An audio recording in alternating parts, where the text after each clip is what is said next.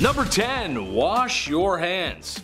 No, seriously, go go wash your hands right now. When was the last time you washed those filthy mitts? Go wash your hands. Washing your hands is super important, especially these days. But something that's very unusual about the Aztecs compared to a lot of other civilizations in history is that, well, they did wash their hands. Oh, and you have no idea how happy that makes me. No more shall I have to think about people shaking hands after using the bathroom with no toilet paper. That's disgusting. Or scooping food onto a plate with their bare, dirty hands and sharing that food with the rest of their families. Yes, the Aztecs like to wash their hands before and after a meal, which is just the way it should be. I hate having grimy hands. You know, I talked to the chief today, and you know what he said? That's it. That's actually it. Yeah, we like that. That's it. Number 9. Aztec Barbershop. It must have been quite the sight for Spanish conquistadors to land upon the shores of North America and then come to bear witness the Aztec civilization in all its glory. Something noticed by the curious Europeans was that the Aztecs had what looked like a barbershop for men. After all, a healthy scalp is a happy one. Even more interesting than that, however, is women were dyeing their hair with a green herb that I'm not even going to begin to pronounce. It was just too hard. it was a lot of X's and T's. I couldn't do it. Which produced a purple shine to their hair. Some women even shaved their hair off, while older women, like mothers, had longer hair. Man, it's almost as if a beautiful civilization was starting to flourish. Well, I'm sure nothing bad ever happens to the Aztecs, right? Number 8 my heroes. Let me create a scenario for you. I like creating scenarios. Let me create a scenario for you. You're on the way to a certain event that is very important in the big city. Maybe it's a new job, a new summer fling, or something that requires dry pants. But now your stomach is acting up. It's big angy. Your stomach's making sounds that are becoming more audible and you can feel soon you will require a bathroom. But you hold it in. I can make it past this event and then go, you say to yourself. No problem. But now you've got cramps, sweats, and you're getting anxious as you know that DEF CON 1 is approaching. You now have to make a decision to make a rush to find a bathroom or be late for your event or take a gamble with your underwear and dignity. Yes, that is a feeling I know all too well, but perhaps I should have been living in the Aztec Empire, as they had public washrooms all over the city. That's just awesome. Oh, what sweet relief. As if that weren't the most unusual, they also had citizens cleaning the streets, which is pretty unusual for the time. Yes, cleanliness was very important to the Aztecs, and honestly, I think there should be public toilets on every street corner. Please, sometimes I gotta go. Number 7. Thirsty. After a trip to the public washrooms, you may need a drink of water to rehydrate yourself. I mean, come on. I know I could use some hydration after that. Sometimes it gets really sweaty in there. Well, it's a good thing that the Aztec cities had canals, and not just the kind of canals a small Italian gentleman drives a boat through on Valentine's Day, but canals that handled both transportation and irrigation. Aztecs knew just how important water was for life, but perhaps most unusual about the Aztecs is their night soil collectors, which honestly sounds like it's hiding something just in that name night soil. Basically, they were beta garbage collectors who used canoes to transport this night soil to farms for fertilizer. And yes, night soil is exactly what you think it is. Poop! But it's unusual for a civilization to be so conscious of where their waste goes. Don't believe me? Well, how about this summer we all get together, we all go up to New York City and take a dip in the Hudson River. Yeah, not many takers, didn't think so. They were doing their best with what they had. And if women don't find you handsome, they should at least find you handy. You know what I'm saying? Number 6. Ye olde dentistry. Look, every time I find a decent dentistry fact, I slap that bad boy in here like a D-based infomercial host with a surprisingly effective kitchen gadget. You're gonna love my nuts. Remember that guy? This is just one of those facts. Do I have a fear of the dentist? No. No, I don't, because my dentist is nice and has all the modern amenities to make me feel at ease. A comfy chair, laughing gas, and putting Peppa Pig on the TV because I'm a big baby. Goo goo gaga. However, no amount of any of those things I mentioned can prepare you for the dentistry before the year 1900. It was crude to say the least, but hygiene is hygiene, and you gotta keep that mouth fresh and clean. Tooth infections were fixed with rubbing charcoal in the affected area, and if that wasn't enough, a super safe mixture of snake venom and vinegar was used. What? I, okay. Who was the first guy that discovered snake venom had such healing properties? Probably the same weirdo who first milked a cow, if I had to guess. Aztec dentistry included fillings and tooth removal as well. Also, ladies of the evening dyed their teeth distinct colors, so then you know if you know. You know? Look at my red teeth, boys. Number 5. Moss. We're halfway through and I'll say it again. I'll remind you all again, I have the utmost respect for you ladies. As a guy doing this list and like writing this list, I mean the things you had to craft back then and then, you know, put, oh my lord. For example, going back to the 10th century, this was a time long before Tampax was ever even a thing. Women were forced to get creative when it came to personal hygiene. They had to just figure it out themselves and literally collect grass or moss, sheepskin lined with cotton. It was mostly moss all the time. You all are absolute troopers. If it wasn't moss, other solutions were small pieces of wood with lint wrapped around it. Number four, Q-tips. If you haven't heard, Q-tips are not for your ears. Yeah, I thought this was a rumor. Turns out we're all lawbreakers. I use two at the same time if I'm in a rush. No, flip them. I'm a vigilante when it comes to Q-tips. Q-tips were invented in 1923 by Leo Gerstenzang right after his wife stuck cotton balls to the end of a toothpick. Kinda sounds like his wife invented Q-tips, but okay, we'll roll with it. From 1923 to 1926, they were named Baby Gays, and then Q-tip Baby Gays, and then finally just Q-tips.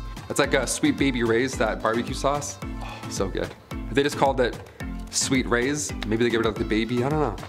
You have to try and work it out. I don't know what the bit is, but I'm like, hey, that's a great sauce. And I just thought of that sauce. Baby Ray's, Baby Gays. Back in those days, Q-tips were dipped in boric acid and they were intended to sterilize wounds. Yeah, we're just out here like, my eyes roll back every time. I get so, I get way too deep. I get too deep where I'm like, oh, it's gone. Huh, there it is, magic, I'm a magician. After this, there were even Q soaps, Q oils, Q creams. It's like Apple, like I, iPad, iPhone, the other i stuff. So what's this rumor that they're not supposed to be in your ears? What's that about? Well, in 2008, Dennis Fitzgerald brought forward concerns about Q-tips and how they're really pushing earwax into your ear canal, leading to possible infections more than anything. When Chesebrough Ponds bought the company back in 1962, they added a warning on the box, a warning that we and I gladly still ignore. Just talking about this, I'm like, oh, I'm gonna go clean my stuff out. Mm. I have Q-tips in my bag, literally, I'm always prepared. Always strapped. Number three, hair removal trick. In the late 19th century, something called thallium acetate started to sweep the nation. It was a hair removal method which even today is the talk of the town. Laser off that peach fuzz for good. Zerp, gone. Thallium was used back in the day, but originally thallium was prescribed for those who suffered with ringworm. But even so, thallium didn't do anything per se about the ringworm, it just caused the patient's hair to fall off. So the ringworm was then easier to find.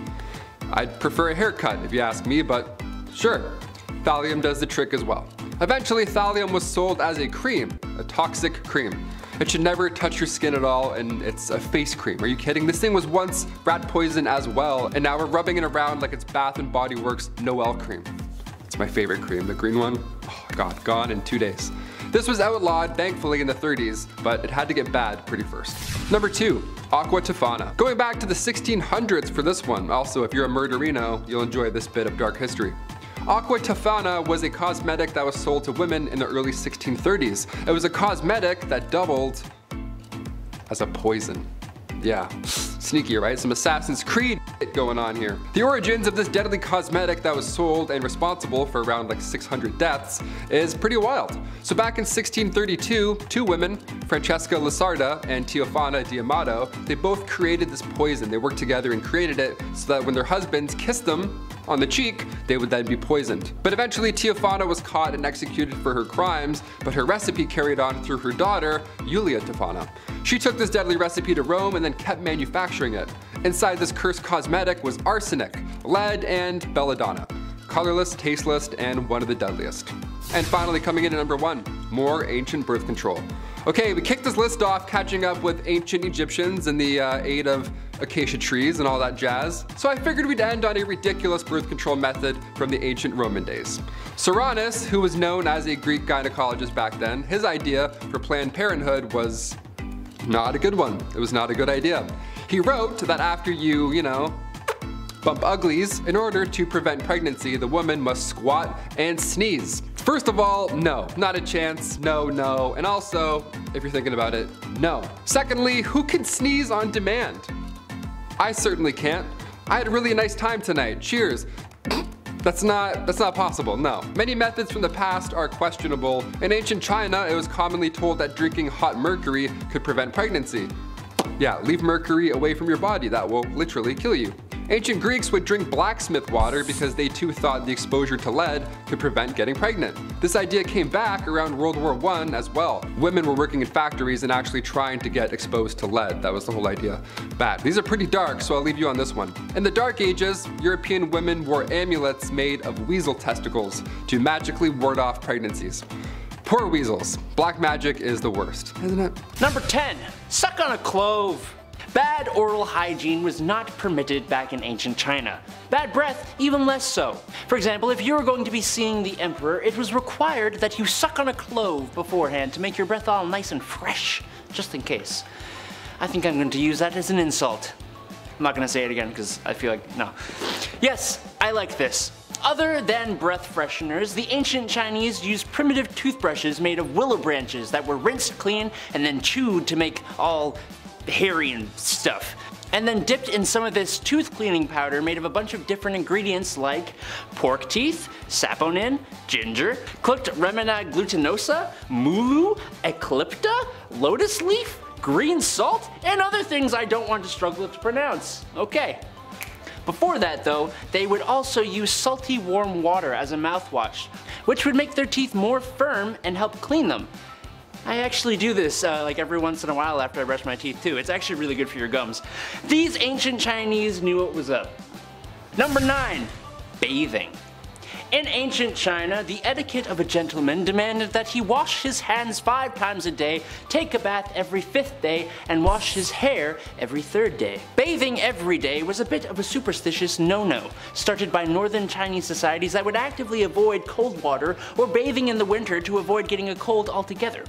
And not bathing at all was considered barbaric, like those pesky Mongols who hated bathing and who were hated by the Chinese. Honestly, that part is, is kind of fair. They, they, they kind of sucked.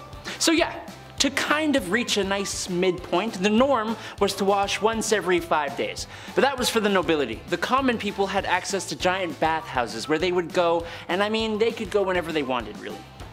I shower every morning. I have heard that's bad, but I don't think I'd willingly go for like five days without washing, so I don't know. Maybe I gotta move it to every other day. I, somebody give me advice, please. Let's move on. I, let's just move on. Number eight, rice water. So, the Chinese washed like once a week. That's fine. But how did they wash? What did they use? Well, in the beginning, it was actually common to bathe using rice water as your go-to. It would be used as both body wash and shampoo. The rice water was really good at removing oil and keeping that hair and scalp nice and beautiful as well as keeping skin nice and silky smooth. The rice water also contains starch, protein, and vitamins that are really good for us. It helped with lower back pain, frostbite, and it was really good to help relieve some of the exhaustion after a long day. Most baths are good at that, honestly. The Chinese also used honey locust that was really good for eliminating dirt and treating rheumatism and ringworm.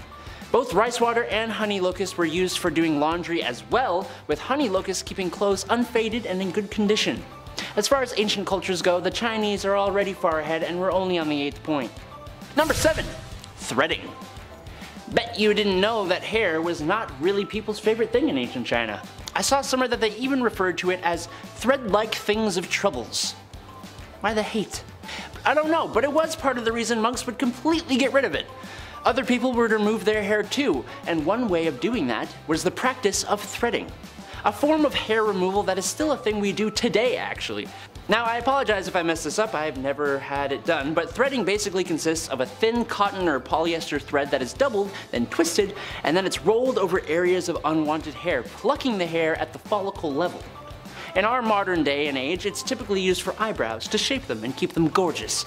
In ancient China, they would use threading to deal with facial hair, which, I mean, I guess eyebrows kind of count as facial hair, so Threading isn't really opportune for arm or leg hair though, so it's just a pure facial thing. Good to know. Number 6. Combs. Yeah, some people didn't like hair, but those who deal with it made sure to keep that stuff nice and combed. Combs were all the rage. A province of China even got the nickname of the home of combs, which is a great name. Whether they would be made of wood, stone, or animal bone, many combs were made with care and craftsmanship. Comb shops would open up all over the show and people would carry combs as accessories. They'd come in all sizes.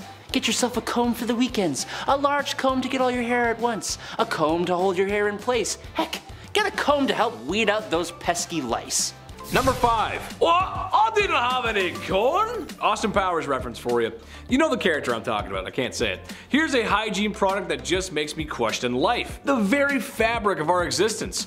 Whether it was the Big Bang or the Almighty Creator, there's just no way this was ever meant to happen. I just, it doesn't make any sense. One day, somebody was walking along the Nile River and was unfortunate enough to step in crocodile droppings. Now, most people would say gross and move on. Oh, no, not the people of ancient Egypt. They felt the stinky, squishy unholiness on their feet and said, yes, we must bathe in this. and they did. They took the forbidden mud bath, the brown tsunami, the cesspit of no hope. You can call it whatever you want, really, it's, it's horrible either way you look at it. Supposedly it was meant to keep you young and beautiful. My only question would be at what point did they realize poo baths were a mistake?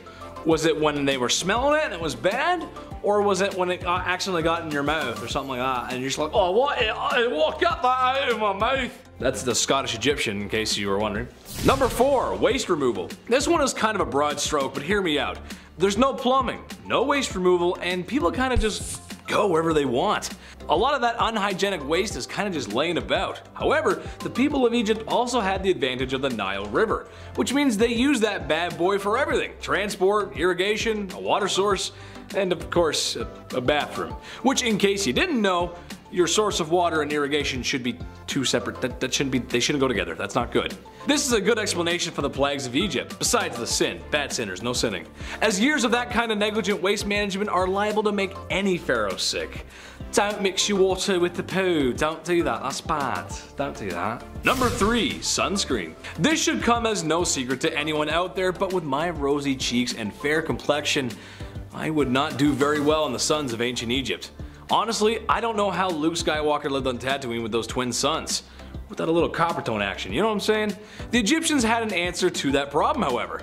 Not the whole living on Tatooine part, that, that just kinda sucks no matter what. Blue milk is weird. They had a makeshift sunscreen using rice bran extracts and a few other ingredients that were meant to help protect against the sun's rays. How effective was it really? Not sure, cause the only stuff I'm willing to test out is the real stuff. And if I get burnt, then I start peeling. And then somebody has to rub aloe vera all over me. Be right back, I'm gonna get some sun. Number two, Cursed Kraft Dinner.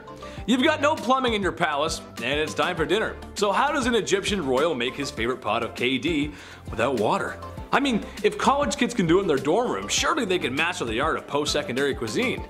Well, for some unlucky folks, it means taking a pot and walking down to that old Nile River almost like people rely on water or something, and take a big scoop of water and bring it back.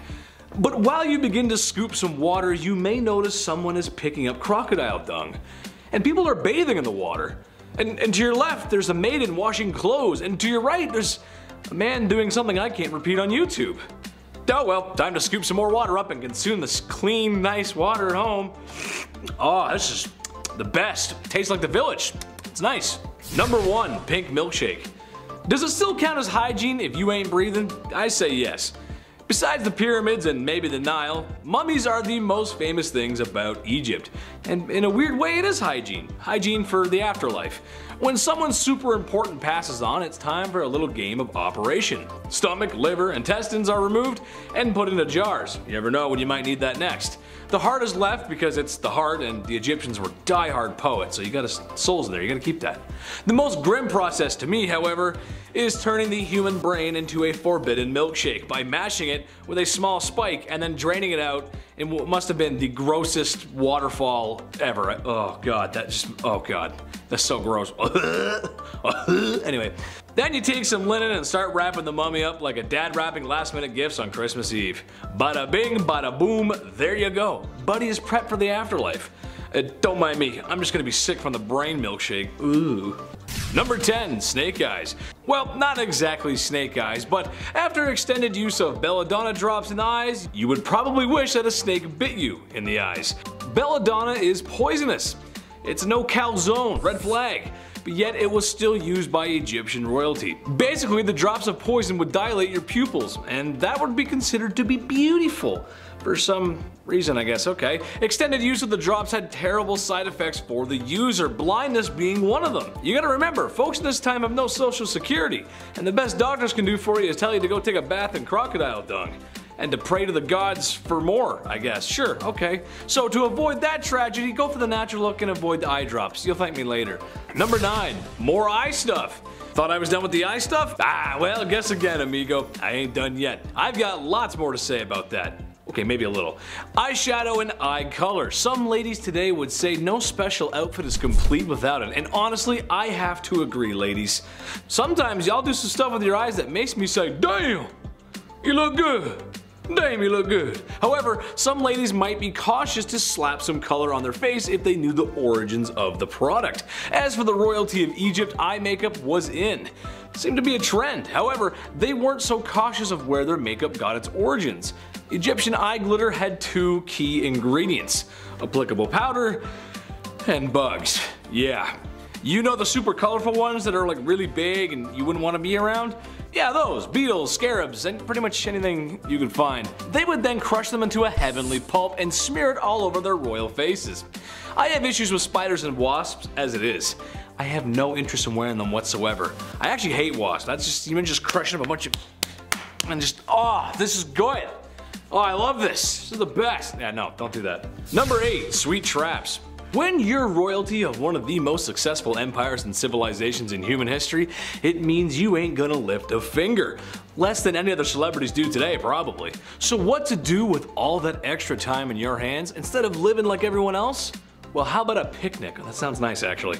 Sounds great, right? Except when we bring out all of our favorite treats. The flies and bugs bother us, and we can't look beautiful if we're covered in bugs head to toe. How did the Egyptians fix this, you ask? Well, it's simple. Don't let the bugs bite you in the first place. Basically, you get one of your forced volunteers, maybe a couple actually, and you slather the poor devils in honey. Till they look like your favorite pastry from Tim Hortons. Place said glazed serving away from the picnic, and now you can enjoy it in sunshine and peace. The screaming of being eaten alive by bugs might dampen the mood, so just just wear earplugs, it's fine. Just you stay over there and just get eaten, it's fine. No problem. No problem. Number 7. Unhooded Sith. Circumcision is important in a lot of cultures of yesterday and today.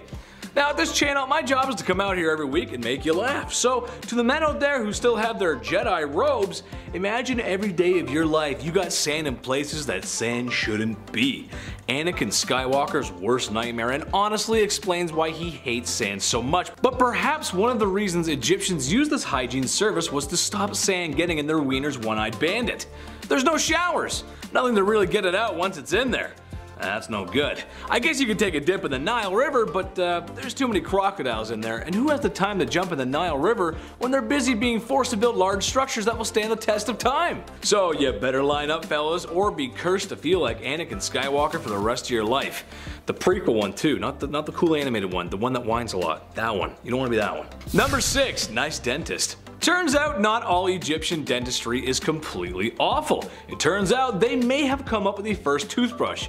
Other civilizations had examples of one too, so it's hard to tell exactly, but the Egyptians had one. But one thing they did have over everyone else were Tic Tacs, or breath mints actually. Honestly, this makes a lot of sense. Imagine it was Valentine's Day, you just walked past a large pyramid. There's sand in places on your body where sand just shouldn't be.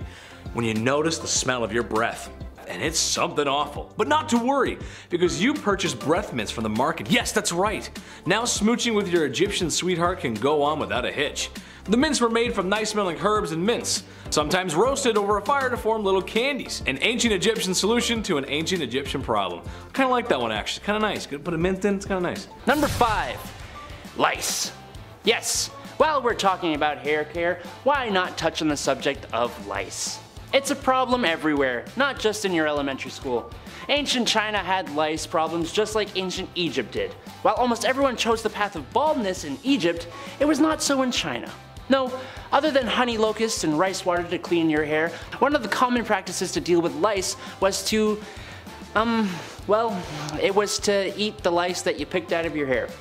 Hey, grub is grub, but I think, uh, I think I'd like to move on from this topic now. Let's, let's go, let's get the heck out. Number four, poo-poo stick. I'm sorry that we have to talk about this, but actually, you know what? I'm not that sorry. Just as it does now, going to drop the kids off at the pool in ancient China left you with the task of cleaning yourself up afterwards. Wiping your bottom. That's what I'm talking about. Now, they did have paper back in ancient China, like we talked about in our ancient Chinese inventions video, but paper was expensive and the only ones who really used it were the emperor and royalty like him who would use straw paper. Before that, and for everyone else, people would use a stick-like tool called a chugi, I'm sorry if I pronounced that wrong, which was basically bamboo strips that were shaped to be thin and flat and slightly wide with rounded edges. Some of these even had great water absorption and a lovely scent. Those who were a bit more fortunate would then wash with water, kinda like an ancient bidet, and then use some good smelling stuff to make it all better. Other than that, a lot of people were cool with using leaves or sticks and stones, and honestly, whatever could do the trick, really. I mean, when you gotta go, you gotta go. Number three, using dirt to clean? Okay, okay, not dirt, but soil. Ancient cultures, including the ancient Chinese, would use soil as a tool in cleaning, which actually had the benefit of being able to help remove oil stains. Now how did this happen? Apparently, it is believed to be caused by the alkaline qualities of the soil that really helps with the removal of oil. Soil and oil, I did not like that. Which the Chinese actually seem to figure out how to specifically utilize. The Chinese used a kind of natural alkali to clean their clothes, which evolved to be scented to help keep the clothes nice and funky smelling. The use of this stuff was so popular that there were tons of scented alkali stores that opened up around China, with some even becoming pretty famous. Maybe not unusual, but definitely very interesting and a precursor to modern laundry soaps. So, hmm. Number two, water purification. While this may be considered more of a health thing than a hygiene thing, I mean, I'd argue that hygiene is health, so get at me. the ancient Chinese discovered and made extensive use of groundwater for drinking, and they kept record of how they would keep their wells and well water nice and clean. The construction of the wells was pretty important, with the bottom of the wells regularly being dredged to keep the water clean. The inner walls of the wells were reinforced with ceramic bricks and tiles to stop that pesky soil and other impurities from falling into the water, and the openings of the wells were covered to safeguard against contamination from above the ground. The cleaning of wells was even institutionalized as a feast in some places. So cleaner water and food, it's a win-win. Knowing early on that drinking water could make them pretty sick, the Chinese boiled their water and allowed the sediment to settle before using it for cooking and drinking. They also knew what was up with water. They just knew what was up in general. It's pretty great. Okay, let's move on. I'm talking too much. Number one, no stink. Smelling funky fresh and clean was all the rage, as it should be today too. I ain't trying to be on the subway with a nose full of body odor, just as I wouldn't wish to submit anyone else to that. To be fair, not everyone knows they stanky and some people don't get a choice, but back in ancient China, those who were wealthy enough would spice up their weekly baths with roots, flowers, peppers, ginger, and all that yummy smelling goodness to basically create a lovely smelling cleansing soup to plop themselves into. Women would also carry around aromatic pouches that would just keep a nice smell around them at all times. Those who are not as wealthy would have to find other means to keep things fresh though. One that I'm not too sure would actually help smell-wise was applying their own pee-pee to their pits once a year on New Year's. This was done as a kind of uh, disinfectant. But like I said, I'm, I'm, not too sure about this one, but uh, if anyone has the knowledge, uh, firsthand or otherwise, keep it to yourself, uh, let me know, like down in the comments. I'm, I'm genuinely curious. Kicking off the list at number 10, Creme It's the 1930s, you're looking for a way to get rid of those upper lip hairs. Well, Creme promises to have your back. They actually promise to have your armpits as well. Yeah, armpit hair and upper lip hair. Gone. For good, you say? Wow, that sounds absolutely lovely. Just don't read the fine print, don't flip it and zoom in. Don't zoom in.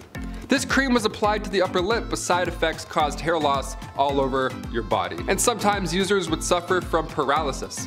It was on the market for $10, which back in the 1930s, that's a lot, a lot, a lot. Like for hair removal cream, that's a lot, a lot. Those are like Beats headphones? What is this?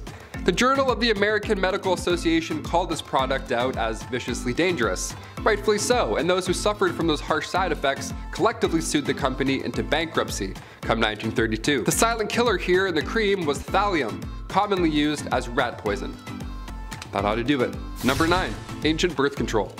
Although birth control today is easier than in ancient times, it's still a chore. It's routine, it's something you have to keep track of daily, and things go wrong if you don't and lose track. There's a plethora of side effects. You have to take fake ones just so your body what your hormones are all over the place. You can get cancer from these, you can get blood clots potentially.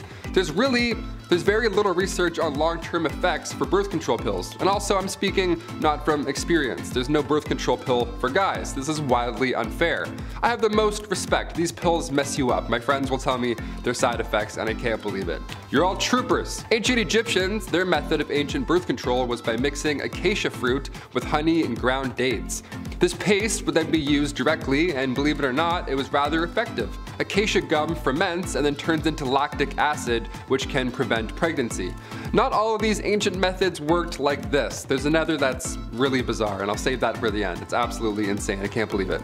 We'll ease our way there, you know, we'll, we'll start nice. Number 8. Lash Lure. Turning the calendars back to 1933, the year FM radios and drive-in movie theaters were introduced and as well as the horrifying and deadly mascara, Lash Lure. This 1930s cosmetic contained a chemical p-phenylenediamine. That's how you know it's bad, when you can't even pronounce the thing. This mascara left blisters all over your face, your eyelids, the whole thing. It was really bad. There was eventually a death in 1933. One woman sadly developed an infection, a bacterial infection, and then passed away. It was so bad that later that year, her before and after photos were used in an FDA display titled The Chamber of Horrors. It was a horrible incident, but a good way to get the attention from higher ups so something like this never happens again. Lash Lure was then the first product in history that was removed from stores entirely, so it worked. We're in the middle of something kind of similar now, I think. Cigarette packages have those horrible side effects to smoking right there on the packaging. The girl with the face. Could we see the day smoking is outlawed? I don't know, I feel like we're close. It's caused quite a few more deaths than Lash Lure, that's all I'm saying. Number 7. Bad toothpaste. Doramad toothpaste was advertised in the 1920s. The ad shows a blonde lady with a lovely smile, some would even say glowing. Right below reads Doramad radioactive toothpaste. Radioactive toothpaste. I've, uh, hmm, that sounds bad. I've played enough Fallout to know that radioactive toothpaste probably isn't a great product, especially to put in and around your mouth. It even loudly advertises its radioactive ingredients. Can you imagine this? Increase the defense of teeth and gums. The cells are loaded with new life energy. Good gums don't bleed, they actually glow. That last one I made up, but you can't tell, right? How insane is this? This secret ingredient to shinier smiles and brighter futures was thorium. The god of thunder does not brush with thorium. He uses it to polish his hammer. Yeah, it's very toxic. Number 6. Gorad's Cream. Once advertised as a magic beautifier, doesn't that sound like a neat time? Gorad's Oriental Cream hit the market back in 1936. This cream was supposed to freshen up your skin, make you look lighter, younger, whatever Paul Rudd's doing, whatever his secret is, we're still trying to figure that one out. That sort of thing. But instead, this skin cream had one user ending up in a book that's very Chamber of Horrors style. This magic ingredient that was meant to magically make you beautiful had some magic mercury in it. Not something you want on your face, yeah, at all. The results were haunting. This woman had soon developed black gums, her teeth loosened, and dark rings appeared around her eyes and even her neck.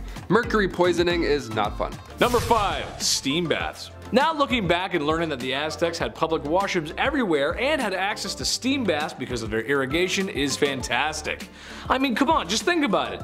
You could relax after a long day in your own steam bath that's made by natural running water. It sounds like doing yoga there would make me feel more in touch with my inner chakras, and my mood crystals would glow just a little bit brighter.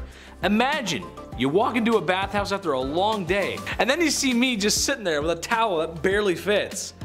Well, hey there, good looking. Why don't you come on in and pop a squat next to me? I promise I don't hog all the steam. I know it sounds like an amazing time, right? The more we talk about the Aztecs, the more they sound like a perfect society. I wonder what happened to them. I'm sure it was nothing bad. They gotta be out there somewhere. Move over, fellas. I'm coming in for the steam. The steam was thought to have healing properties and was connected to their spirituality. Women even gave birth in the steam rooms, which feels like a really sweaty time. I just, I don't know about that. There's a lot of sweat. Number 4. Bath and Body Works. It's clear the Aztecs were just cleaner than the other civilizations of the past, and honestly, I'm here for it. There's only so much a guy can say about people being stinky in the past. I mean, really, the smell must have been horrible, especially down in the nether regions. My lady, I would like to have a child with you, but the fragrance that is coming from both of our undercarriages makes me want to get into my carriage and drive it into the nearest body of water. Yes. Aztecs were making soap like it was their day job, using various herbs and plants to create much nicer smells and perfumes. However, during the rainy months, Aztecs wouldn't wash or wash their clothes in penance. But I guess one month isn't so bad. Strangely enough, women wouldn't wash their faces when men went off to war. I'm not sure about that one, but hey, I'll take it. Gold star for staying clean, Aztecs. Gold star. Number 3. Bath and Body Works Part 2. Okay, another scenario. You're in the 6th grade. You're sitting at a desk and listening to Mrs. Smith, and she's going over what today's art assignment is. As you begin to reach for your favorite shade of red crayon, an odor hits your nose. It's unlike anything you've ever smelled before. And it's coming from your armpit. Puberty induced body odor. Not to worry, your buddy has a can of the finest spray deodorant there is. He hands you a black can that says Axe. You are now one of them. And you start showing up to school dances with a seafoam pink button up shirt with the collar popped and a Justin Bieber haircut with the hat on backwards. Yeah, that's right. All while drenched in a can of Axe's finest. Shark tooth necklace shows every girl in the room that you're a tough guy. God, those guys are the worst. Okay, no, the Aztecs didn't go that far, but they were aware of the horrors of the classroom BO and recommended a special bath prepared with lovely smelling aromas, which makes sense. Good smells go in, bad smells from your bum, they go out. However, there's two ingredients that make me question things. Apparently no odor killing bath is complete without a fresh bone from a dog and a human. I'm just gonna leave that with you and think about how you'd feel with two bones floating in your bath. That's disgusting. Apparently they had to be fresh too, that's gross. Number 2. The Aztec Classic. I'm glad the Aztecs had better hygiene because for once I don't get super queasy talking about the things people did. However, it wouldn't be a video about Aztecs if I didn't talk about their favorite pastime. Sacrifice. And honey, if they were giving out gold medals for it, the Aztecs would be record breakers. Sure, they weren't the only civilization to sacrifice people, but they did it with such theatrics. It would make my old theater teacher very proud. But unlike most civilizations, the Aztecs did this all the time. Whenever the calendar called for one, it was time for one. And if they ran out of people, they would go grocery shopping for more. Or actually just go to war and take people, which is not good. Just know that when a chief or a religious leader cuts the heart out of a man whilst alive for the entire city to see, he most likely had a clean cloth and water to wash his hands, making modern surgeons proud everywhere. Number 1. The European Bug It's safe to say that Aztecs, while not as clean as people today, they were striving for better hygiene, more than any other civilization at the time really. However, no amount of hand washing, sacrificing, or putting herbs in your bath can prepare them for the Spanish. Not just the swords and the guns and invading and such, no, I mean the sickness that Europeans brought with them. It's a plot similar to War of the Worlds, except the invaders brought all the nasties with them. No matter what the Aztecs did, it wasn't going to stop the waves of lovely things the Europeans brought over. Armpits are clean, but now they got black lungs. There's too many diseases to even name, there's a lot. Kicking off the list at number 10, dirty beds. Okay, so far on this disgusting series, I can't believe we're on part 7, but we've talked about storing chamber pots under your bed. Pretty yuck, that's if you were lucky enough to have a bed, of course. If you were rich in the 1400s, having a bedroom was the talk of the town. You would have guests over to hang out in your bedroom. That was like the place to be. Social gatherings in your bedroom. That's my worst nightmare. A couple of nights talking about noble deeds, meanwhile you're all tucked in with your out, hair all messy, half asleep, like, huh? Who is it? Most of the time in the 14th century, your mattress wasn't even a mattress, it was just a pile of straw. It was horrible, you had to sleep in your clothes, the same tunic and cloak you've worn all day, remind you, because you'll freeze at night otherwise, right? Because you're basically outside, these barns, this old wooden, not great. Also, these beds weren't in your rooms or anything, they were just like tucked in a corner. You didn't have social gatherings around the sack o' straw, know what I mean? Your bed was more often than not riddled with bird poop as well. You weren't alone in these cold rooms, you know, birds hiding up above. Also, spiders, I don't even want to know. I don't even want to dive into that. Let's move on. Number nine, mouthwash. Ancient Romans would use urine as mouthwash. I believe we've mentioned that before on this, again, disgusting series. That's always a fun fact to bring up at a house party. Next time you're drinking some Mountain Dew, just be like, oh, did you know? The ammonia in urine was thought to ideally wash away the yuck. You just gotta get past the whole urine part, I guess. Doctors hate this one trick. Mm. Nero would tax the trade of imported bottled urine. That's how popular it was at this point. Some poor soul with a clipboard would have to stand all day and just be like, Yep. In the 12th century, St. Hildegard von Bingen would advise all to wash their mouth with cold water to remove bacteria. Yeah, if only it was that easy, okay? Just one quick shh and spit it out and then you're good? No. I wish it was that easy, pal. Tortoise blood was also used once as mouthwash, alongside goat milk and vinegar. Out of those three options, imagine not picking goat's milk. You're like, hmm, but what year is the tortoise blood? Number eight, bath beans. Not to be confused with bath bombs, bath beans we're talking about. Bath beans, beans in the bath. Bath beans were used thousands of years ago in ancient China. They were these bars, or beans rather, these chunks, they look like beans. They're made of bean powder, herbs, and much like our bath bombs today, they also included some nice fragrances. Just have a little bit of a, mm. The pancreas of a pig was also commonly used, so it wasn't totally nice. Once the blood was drained, you'd mix it with the bean powder and the nice stuff. Now originally it began by using leftover water from cooking rice. Eventually it became bath beans, which is, you know, aka soap old soap. Some bath beans were loaded with ingredients much like the bath bombs we can find today, so they were all quite unique. You could make your own little bath bean. Number 7. Purple nutsedge weed. Archaeology is fascinating. And no, I'm not just talking about dinosaur stuff. They look at rocks and be like, ah yes, a Viking was here thousands of years ago and he was a Libra. How do you know that? This is so impressive. Ancient sites tell a story, and Karen Hardy, an archaeologist with the Catalan Institute for Research and Advanced Studies at the University of Barcelona, she found another ancient hygiene practice while studying a prehistoric site in Sudan. Plaque, turns out, can last thousands of years. It calcifies once it mixes with food, then after it's stored below the gums, game over, it's there for good. Specifically, thousands of years ago, it's it was there to stay. We couldn't really get that out.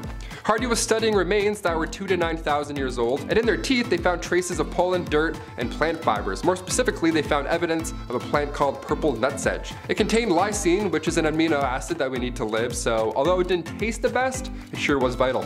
Ancient Egyptians used the root for perfume, but this new study shows that purple nutsedge may have been used to prevent tooth decay. They would just chew on roots all day to take care of their teeth. The plant produces antibacterial chemicals, so chewing on them would have been beneficial. Little different than the inside of a I'd say. It's definitely a step in the right direction. Number six, smoking. Back in 1665, during a plague in London, you were told to smoke cigarettes because they were considered disinfectants. Sore throat? Eh, smoke this pack of cigarettes, I'm sure that'll help. Help you cough a bit more if anything.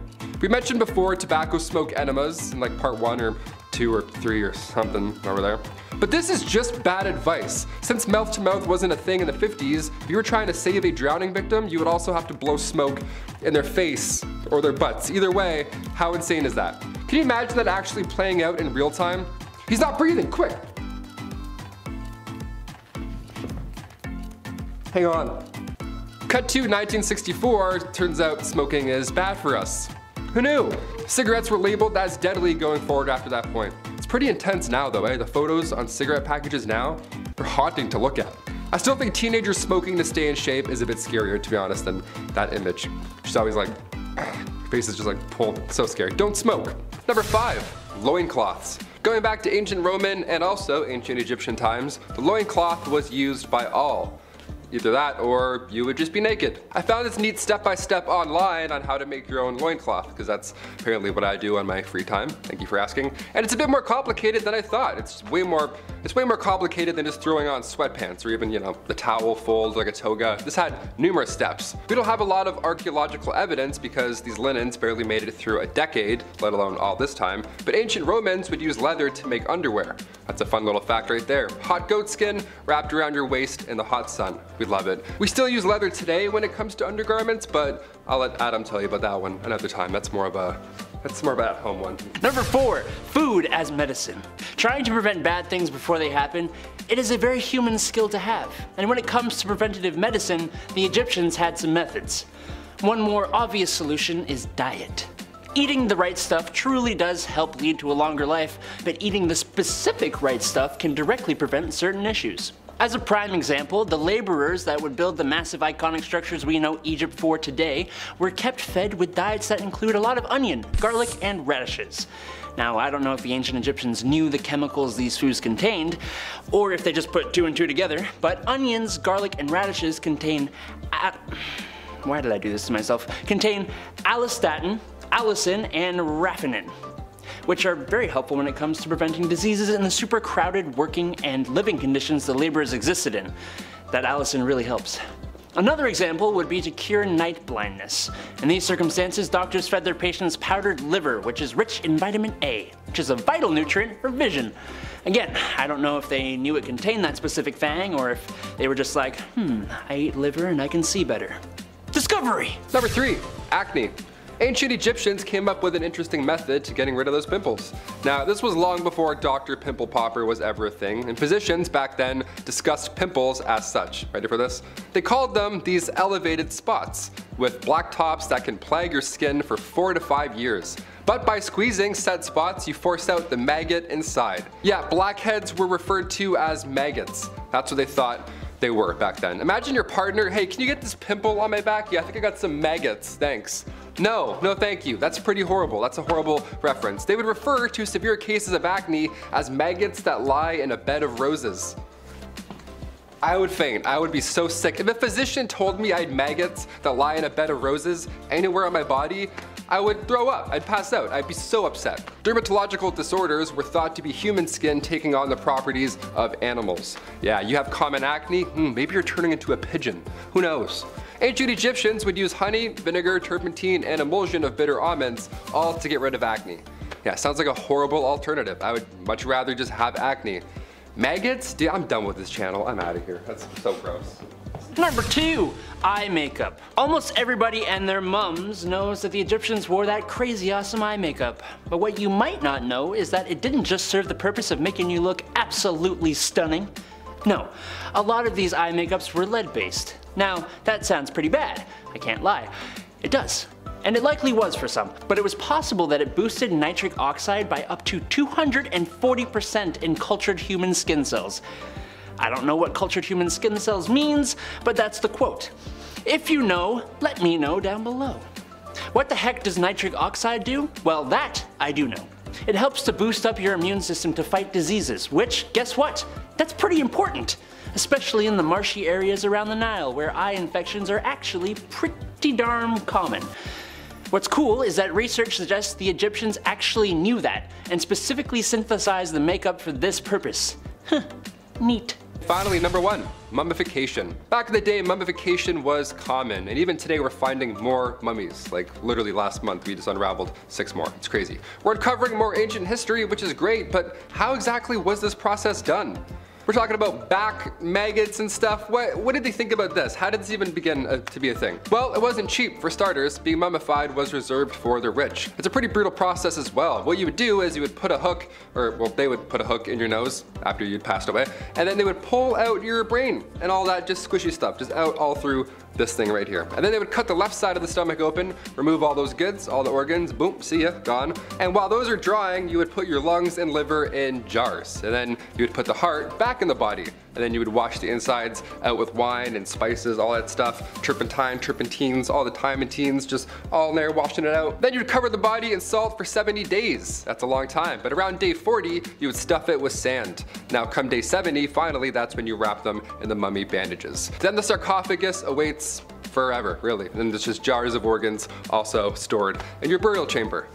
Now it's, we don't do it, it's not as fun anymore. We don't put our organs in jars, we don't stuff anyone with sand. We should, you know what, we should bring back mummies. Let's just do it, I think it's time. Yeah.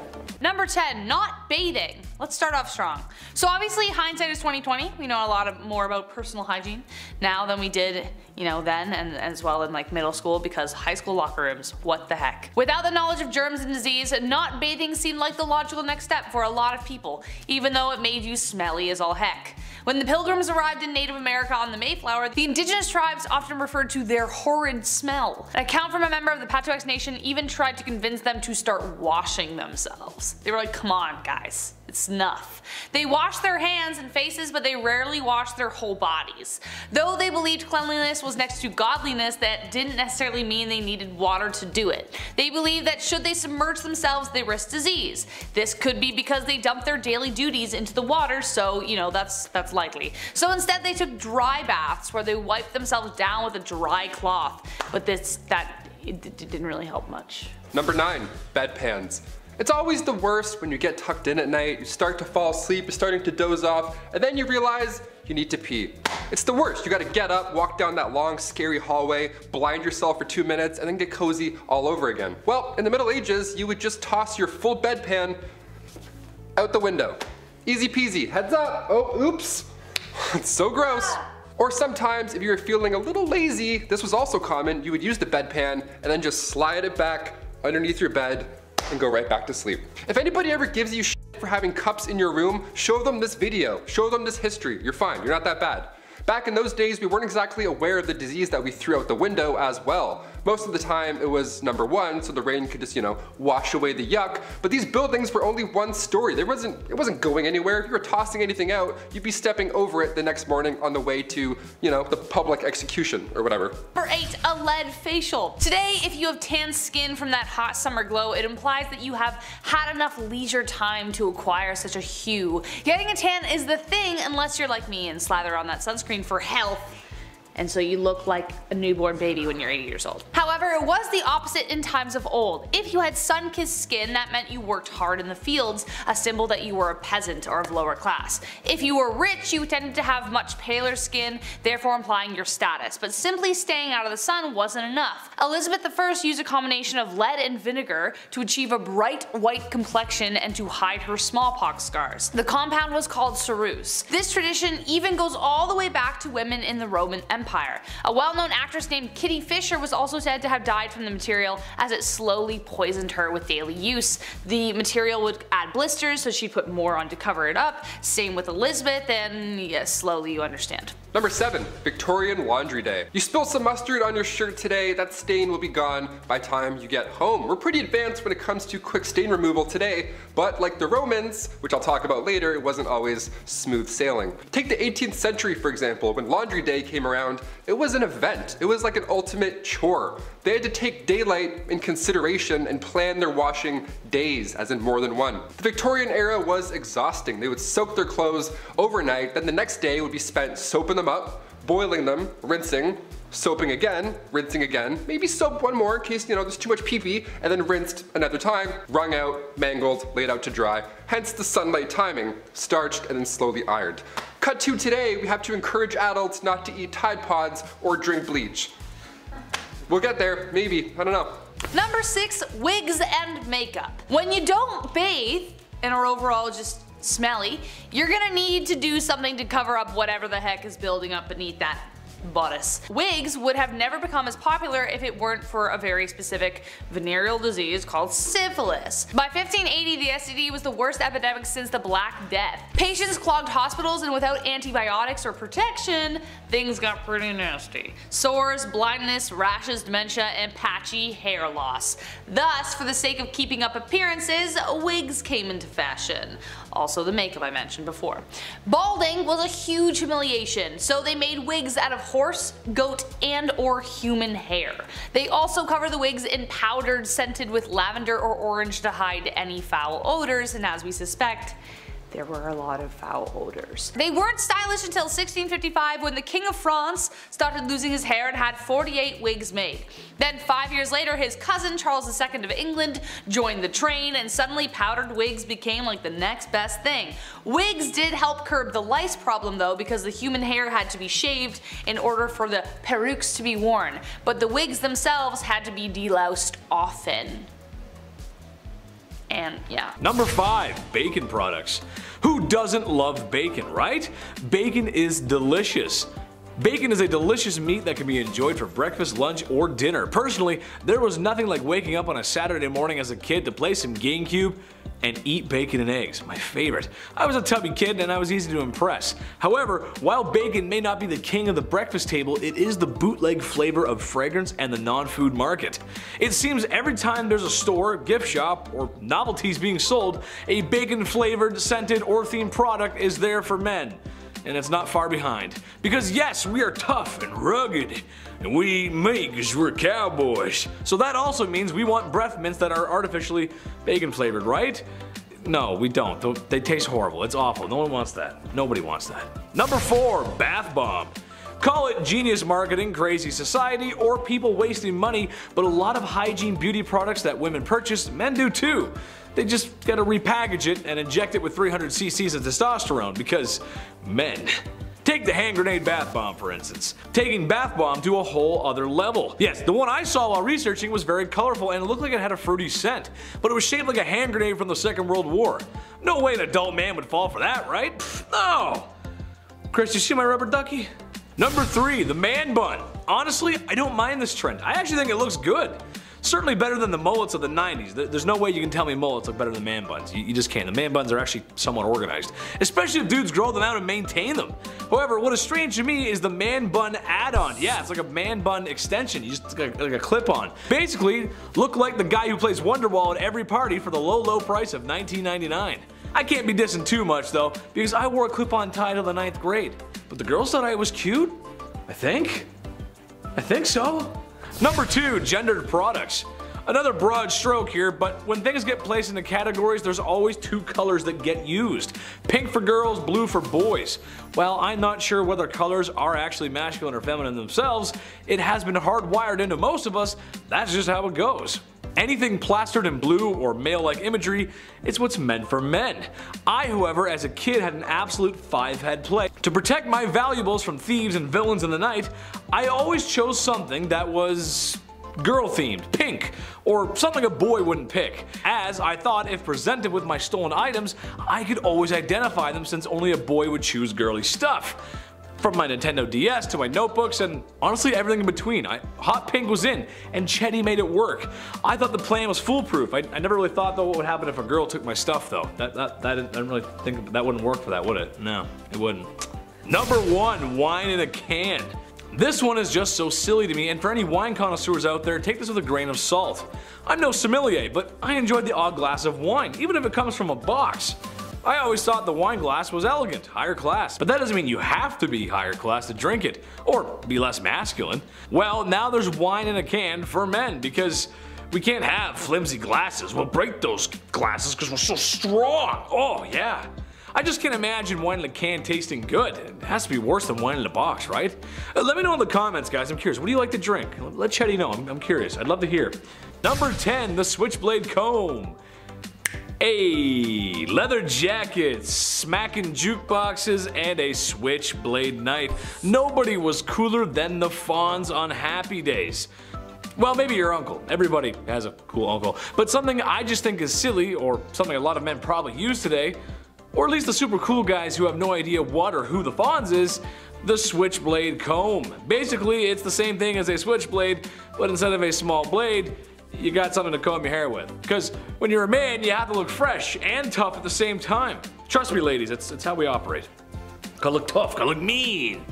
And kick the jukebox, hey. Number 9, the ball jacuzzi.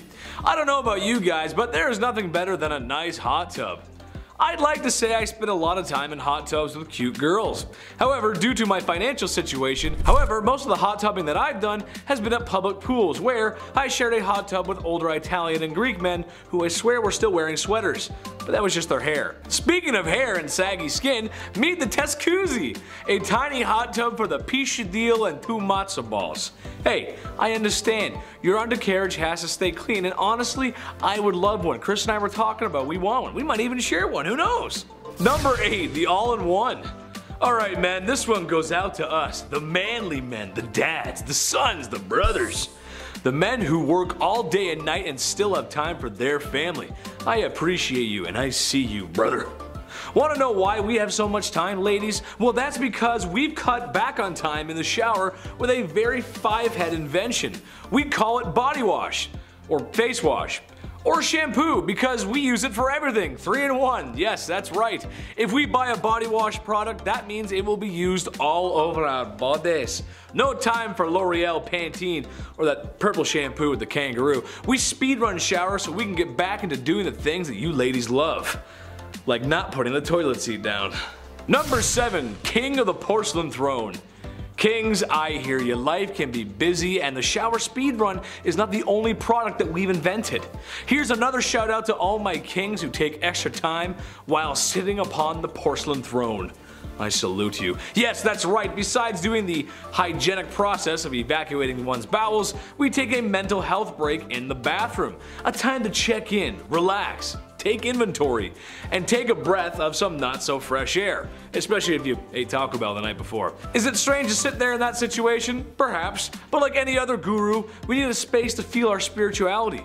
Would Yoda be Yoda if he didn't meditate? Mmm, sit on the toilet I will. Number 6. The Beard Apron. This is just so smart and I'm seriously considering buying one because this is the bane of my existence. Sometimes the lumberjack look is too much for me and the closer I get to looking like Chris Farley, the better. I think I have a great motivational speaker impression. Maybe I'll show you guys one day. We'll see. I don't know. However, when shaving my beard, I have nowhere to go, and it's too cold in the winter to do it outside, so that's why this is so smart. Basically, it's an apron that you post up like a hammock. So when you're shaving, down those chiseled cheekbones of yours, all the little hairs fall into the apron. That way your GF can't yell at you because there's no mess to be made. Necessity truly is the mother of all invention. Number 5 urine deep. Turns out we used pee for a lot of things back in the day and today we still do? Question mark? The Romans used urine to wash their clothes and even more impressive slash gross is the fact that they used urine to help with inflammation, burns, or skin disease.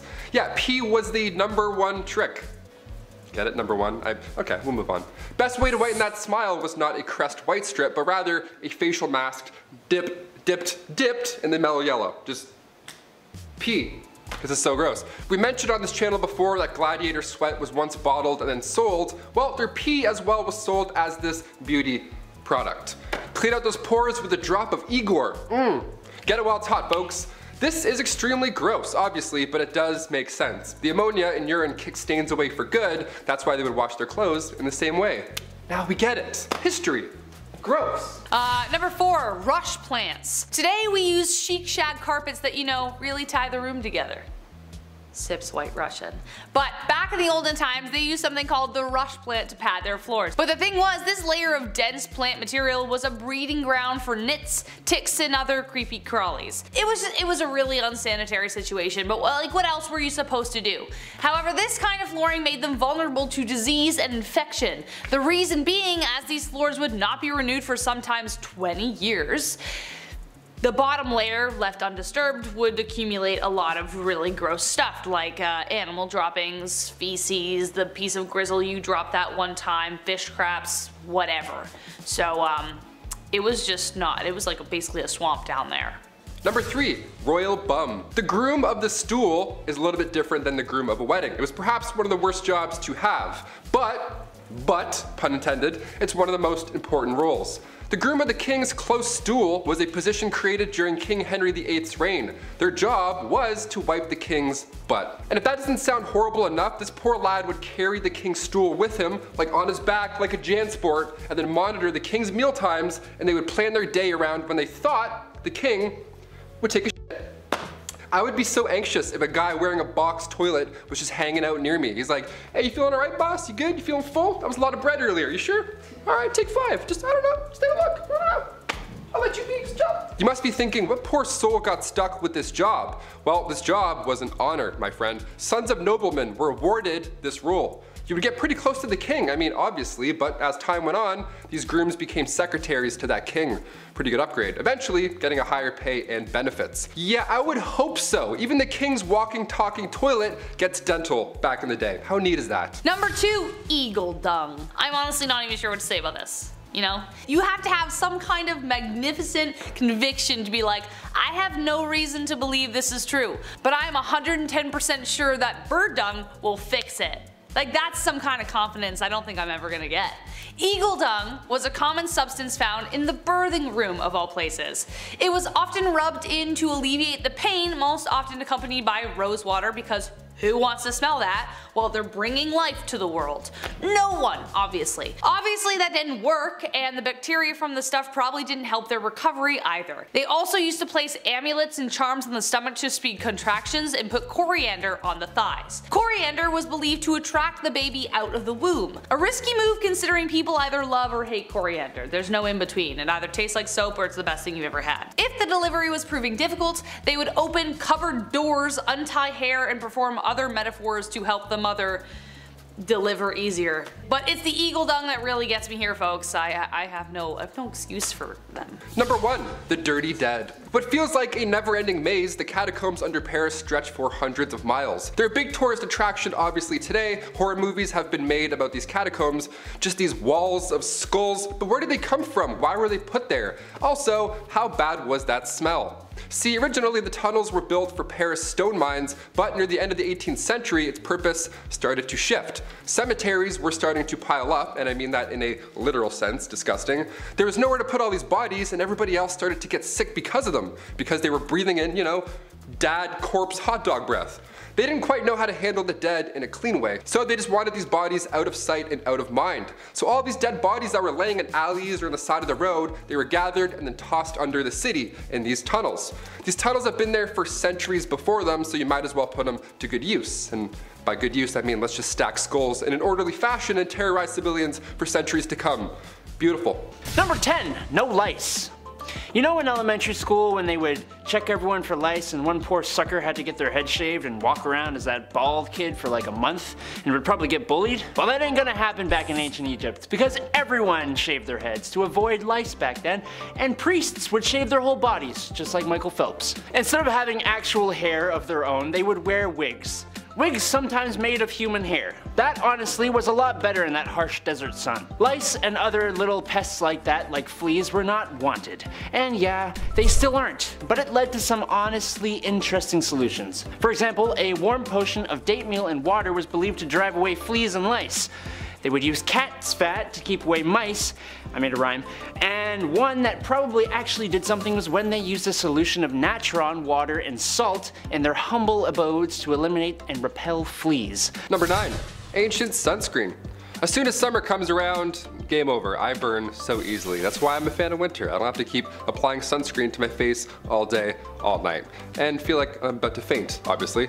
Canada gets quite hot. But how did Egyptians beat the heat in ancient times? What was their trick? They didn't have banana breeze, FPF, SPF 90, whatever the hell it is. Ancient Egyptians valued their skin as a symbol of beauty, right? You think your morning skincare routine requires a lot of work? Think again, Laura. Their routine was written on tomb walls and scrolls. Rice bran containing UV absorbing gamma oryzanol was used to block the sun off. Yeah, it was that hard. Jasmine as well helped repair sun damage, and ancient Greeks as well. They used olive oil as sunscreen as well as ancient Egyptians, which as far as UV protection goes, it did absolutely nothing. You'd be burnt and extremely dehydrated, but also you'd have some nice tan lines and you wouldn't be as pale as me, so it wasn't all bad. Number 8. The finest of cosmetics. The cosmetics of ancient Egypt were not just for looking good, they were for feeling good too. Like on the inside. Now, as such, those professionals who made the stuff took it pretty seriously. Not just because of a passion for the art, but also because they'd be judged pretty damn harshly if they did a bad job. If they sucked, it would mean having the whole neighborhood give you a bad reputation. And in the cosmetics business, just like show business, it's all about that reputation. It would also mean some harsh judgment from the big boys upstairs meaning the gods when you met the afterlife. So yeah, they wanted to do a good job. And to meet that end, they would try and use the finest of ingredients, as they should when people have to put this stuff on their skins and right next to their eyes and stuff.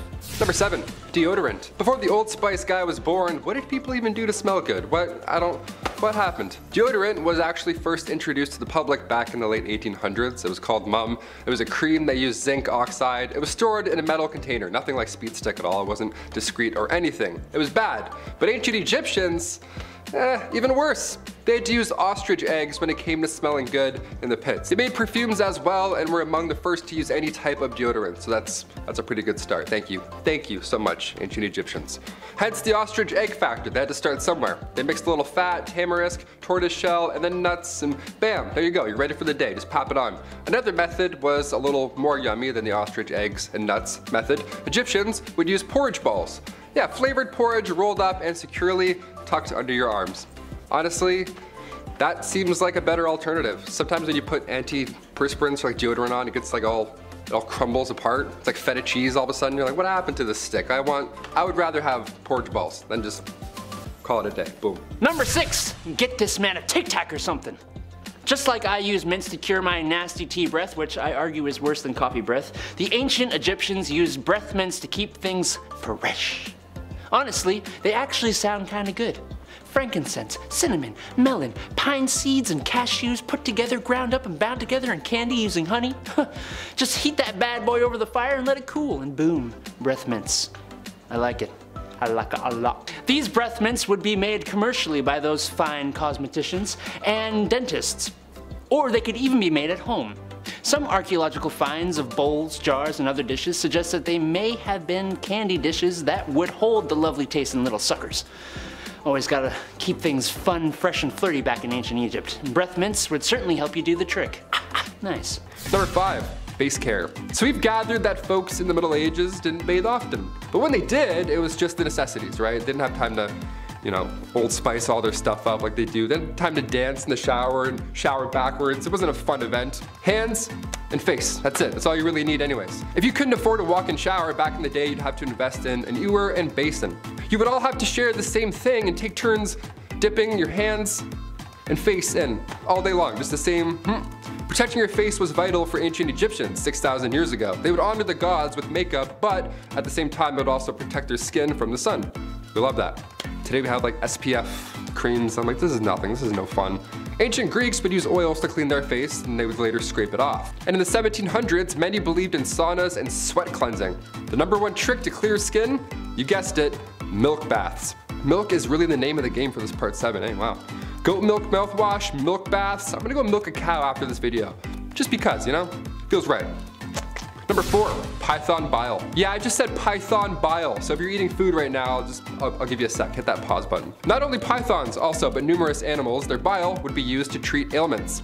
Ulcers of the female genital area, yeah, that's what the doc was giving you. Python bile. Have fun. Ancient Chinese physicians would also hand over some elephant bile as well if bad breath was bringing down your game. Elephant bile mixed with water would get rid of halitosis. Honestly, any type of bile, just count me out. I just won't brush. How's that? Taylor, why do you have bad breath? Oh, have you seen the alternative? That's why, Mike. That's why. I almost tripped, but that's why. I almost broke my leg.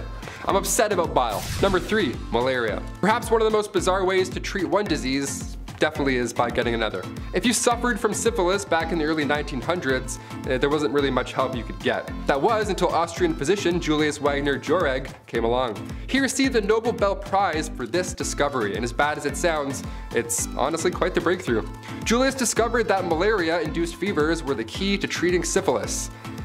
Yee, nice. Now we're, I guess, we don't do this anymore because, well, malaria is still horrible, and a hefty amount of patients lost their lives trying this method. So no, we at Bumblebee do not recommend this method. We have other ways to treat it now. Number two, rabies. It's a part seven. Let's talk about rabies. Might as well. This is a haunting list so far. Pre-rabies vaccine, I mean, what the hell did we do? Before 1885, that's when French scientists Louis Pasteur and Emile Roux, they developed the first rabies vaccine. We were pretty much SOL if a rabid animal were to bite you beforehand. I mean, one of the leading theories to prevent the spread of rabies was to not let your dog outside while there was a full moon. You know, that middle-aged bull where every remedy just sounds like a side quest in Skyrim, that kind of stuff. Oh, you'll need one egg and two pigeons. I'm like, what? I have, a, I have strep. What are you talking about? In 16th century Europe, it was a literal joke if you had rabies. Doctors quite literally told you to ingest 40 grains of ground liverwort and wash it down with 20 grains of pepper and a half pint of milk. That's it, that's how you cure rabies. That's how you do it, I guess. You gotta ingest that each morning for four days in a row. Oh, and you also need to have a cold bath every day for a month. Imagine if this really was the only solution, even today. Just cuts to us in 2022 with iPads, technological advancements, we're creating new vaccines, but in order to cure rabies, you still need to slam some milk and have a bath. It's like, yeah, that's the only way. That's the only way we've done it so far. Hygiene history is insane. I'm gonna push for a part eight. Hit that thumbs up so I can keep talking about this nonsense. This is insane. I learn something horrible every day here. And finally, number one, electricity. Electroconvulsive therapy, or ECT, has been around a lot longer than most of us think. It just didn't work back then, you know? Also, we don't call it shock therapy anymore, we're well past that. Tiny electric currents would be sent through your brain, ideally changing its chemistry, and over 1,000 people a year undergo this treatment. But back in ancient Roman times, this procedure of course was a little sketchy, just a little wee bit. They would use electric eels. Yeah, they would hang out with a bunch of electric eels to hopefully relieve a headache. Again, I'd rather just have a headache. I'm not trying to become a Spider-Man villain, okay? I just, I'm nearsighted. Today we believe the seizure aspect is beneficial, but back then it was believed that electricity was the key here. We would drink electrified water and wonder why nothing's happening. Number 10, spitting. Two words, chewing tobacco. I am not the only one I know it who made this face while watching western movies and some grimy guy just like spits into a bucket like some like brownie green slime. In saloons in the old wild west, spitting became so common that it had to be outlawed at one point. Men would spit tobacco onto the floor with spittoons and cuspidors lined the bar. Most of the time, they missed. The job of cleaning them often fell to junior shop assistants, which was a worse job than cleaning a fast food chain bathroom. They essentially became little cesspools of disease, and people got really worried eventually because, no duh, they're spitting all their stuff everywhere. Following the devastating flu epidemic of 1918, plus the constant fear of TB, anti-spitting campaigns were undertaken and it was outlawed.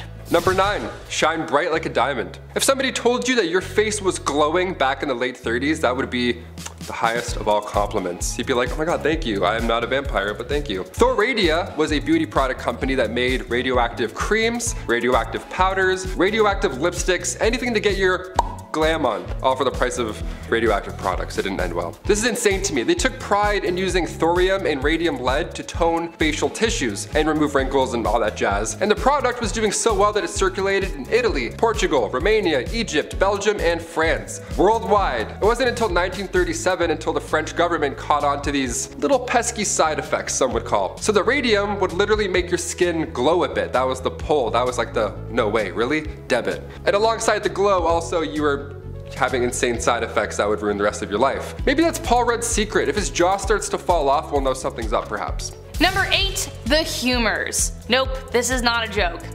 Ha, though it sounds like it. Ever heard the phrase to be in good humor? Well, it goes back to this. I mean, probably. I actually don't know, but it sounds like the two are connected. The four humors were the basis of medical treatment in medieval times. The idea was introduced by Hippocrates all the way back in ancient Greece, which combined ancient science, naturalistic knowledge, and philosophy. The four humors were blood, yellow bile, black bile, and phlegm. They were organized to represent the four elements, the four qualities of cold, hot, moist, and dry, as well as the four seasons and planets. If something was wrong with you, then it was because one of the humors was out of whack. If you were depressed, something was wrong with your black bile, for instance. Do I know what black bile is? No, I don't want to ever know. Are you too hot? Well, bloodletting will be the solution for that. The factors controlling your humoral makeup involved sex, age, temperament, and many more. Bloodletting was the most popular way of balancing the humors, and it was assumed to have a relationship with most diseases, from smallpox to pseudoscientific hysteria. What, you horny? Let's bloodlet ya. Number seven, public bathhouse. Okay, this next one, we haven't really moved on that much. We still bathe together, we still do it in like water parks, we swim in pools of pee-pee, and then go down slides and burn our back skin off. Ancient Roman, so good, you're like, why'd you have to ruin it? Ancient Roman bathhouses were the older, yuckier versions of these water parks. They also didn't have slides, so Boo. They would literally spread intestinal parasites in these houses, pools, in these massive rooms with massive pools. The Romans were figuring out sewage systems at the same time, which I'll talk more about later, gladly, but they were also the first to create heated public baths. My above ground pool wasn't even heated, but the ancient Romans were? Now I'm upset. I'm gonna call my dad after this. The archaeology and anthropology department at Cambridge discovered that Romans brought lots of parasites to Europe. Fossilized feces show that these heated, relaxing, rejuvenating bathhouses in your body why we're all but. I don't mean to undermine the ancient Romans though, it's not what I'm doing, okay? To be fair, they also brought lice and fleas. Number six, no hand washing. I don't know. Believe it or not, washing your hands as a doctor before doing anything was a controversial idea. Today, especially due to the last two years, we all have a tune we sing while washing our hands to ensure we're lathering for like full 20 seconds. We've all done it. But when doctors discovered it was their fault people were getting sick, they didn't rejoice, they got offended. The whole conversation started because of a man called Ignaz Semmelweis. He was studying the differences between two birthing hospitals, one run by midwives, the other by doctors and students. The mortality rate at the latter was way higher than the other. They were dying from something known as childbed fever, more closely known as sepsis. After a series of trial and error, he hypothesized that it was because the students were touching cadavers and then touching the mothers. He then made them clean every tool in their hands with chlorine solution, literally the best thing to kill germs, though he didn't know that at the time, he just assumed it would work. Well, wouldn't you know mortality rates improved significantly, but when he tried to enforce his findings, doctors were upset they were being blamed for the deaths. He ended up getting fired over it and eventually thrown into a mental asylum near the end of his life. Considering what we know now, that's rough. Number five, cesspools. Ooh, gross transition. If you're gonna make a massive castle, you need to know where to build certain rooms. Like say over a cesspool for an example, that might be important. Just plug your nose. Cesspools were often placed under floors, which makes sense because you know, you, you poop and then gravity and everything goes down. But you need to make sure that those floors are supportive enough. Because in 1183, the Emperor of the Holy Roman Empire had a dinner in the palace of Erfurt, but the floor in the main hall broke open, resulting in a bunch of dinner guests falling through the floor, with a few of them even drowning in that cesspool. What a horrible way to go. Then again, in 1326 England, Richard the Raker had just sat down for dinner, guy hasn't even started his meal yet, and then again, the floor broke and he fell through and drowned. I'd say chamber pots were safer, definitely, but when it comes to waste, honestly, just out of sight, out of mind. Just get that away from me. Literally, pun intended. Number four, towels. I'm pretty picky when it comes to towels. I always have to have way too many just ready to go at all times. You know, in case I want a bath, in case I want to have two baths in a row, you never know. Today we have nicer towels at hotels than anything, honestly. We all know somebody with a Bahia Principe resort towel in their closet and you're like, really? Really, you thief? Okay, I'm telling. Around the 1800s, flour sack towels were the best you'd get. Now around this time, suppliers were packaging flour and other foods in these cotton sacks. This saved big time on barrels and eventually they were cut into tea towels. Now come the Great Depression, resources were of course limited, so these flour sacks were used now for multiple reasons. Clothing, toys, quilts, pillowcases, diapers, and of course, towels. Wouldn't feel too good on your back, not at all. Number three, same clothes, new day. King James, and no, I don't mean LeBron, I mean King James VI of Scotland this time around. We'll talk about him another time. He had a pretty sweet idea when it came to changing clothes. You don't. Simple as that. What a dream, right? The amount of times I change my shirt every day for literally no reason, it's such a waste of time. It's like black, mm, gray, mm, black. Yeah, that's it. It's a waste of time. King James would wear the same clothes for months at a time, even wearing the same hat for 24 hours straight. Guy's devoted to the hat game. He just slept like, didn't move a muscle. He went as far as not bathing either because he thought that it was bad for his health. Yeah, things were thought differently back then, as you may have known by now on this channel. James became king when he was just 13 months old and he succeeded Mary Queen of Scots. In 1603, he took over as ruler for both England, Scotland, and Ireland for 22 years. And he looked the same every day. Gotta, gotta love it. Who's committed? Number two, unwanted hair. Pubic hair is a biological mystery, and yes, even after we hit puberty, we still can't figure it out. What are you? What's going on? So far we believe this is part of our evolutionary history and it comes from a time where we needed fur all over our bodies, right? Like animals. We evolved to protect ourselves against the cold and just in general to keep that area, you know, safe. I don't know why I did that sound, but it's safe. So why is it that ancient Greek statues of women are completely hairless? Well, this was a time where if a woman's area was hair-free, for some reason the Greeks symbolized it as being pure. Okay. So in order to be considered pure, you'd have to use razors and creams, pumice stones, methods that were not as smooth as today. What's even more annoying is that men who would grow their body hair out, that was a sign of maturing. Yeah, I'm not, I'm not either of these categories. I can't grow anywhere where I want to. It's just bald. I'm just a bar of soap. Yeah, I'm not gonna use a stone to shave either. Thanks. We'll pass. Next. And finally coming in at number one, acne. Ancient Egyptians and Greeks came up with an interesting method of getting rid of those pimples. Now reminder, this was long before Dr. Pimple Popper was ever a thing. You ever click one of those videos and you're watching for like 40 minutes? You're like, I'm gonna be sick. Is that yogurt? What is that? Physicians back then discussed these elevated spots with black tops that can plague your skin for four to five years. But by squeezing these mysterious spots, you force out the maggot inside. Yeah, blackheads were called maggots back then, so that's pretty horrible. That's gonna be in my head forever. They would refer to severe cases as maggots that lie in bed of roses, AKA your face. That's the bed of roses. If a physician told me I had maggots in my face, I'd faint. Teeth worms and maggots, like just brush your teeth and wash your face and then avoid all that smoke. These disorders were thought to be human skin taking on the properties of animals, so that's pretty wild. So ancient Greeks and Egyptians would use honey, vinegar, turpentine, and emulsion of bitter almonds to solve that problem. Or what I just do is I just squeeze really hard, yell one curse word, and then wipe the mirror. That's usually how I do it. Kicking off the list at number 10, medieval manicures. You can clip your toenails anywhere you want these days. An alarming amount of people do it on airplanes, apparently. Yuck. But how do we clip those little piggies back in the day? Before modern fingernail clippers were patented in 1875, we have to look to the ancient Romans and how they got rid of those hangnails. Biting them off, of course, that was the best way. That bad habit I'm sure half of you have, as well as me. That was the best way boink. Eating the, eating the nails, bad, bad stuff. In 35 BC, biting nails was written as a way of dealing with nervousness. Even back then, anxiety still had, it was a thing, of course. Ancient Greeks had a tool that looked a lot like toenail clippers, but it was actually used for pulling hairs. I'll get into that one a little bit later, it's a bit more intense. Medieval methods for cutting your nails were usually to use a small knife, so around the Babylonian age, the newly invented scissors would just do the trick as well. You just gotta have really good aim. They're big, rusty, giant, comedically big scissors almost. Sandpaper was also commonly used as well, and to that I say great idea. We still use that today.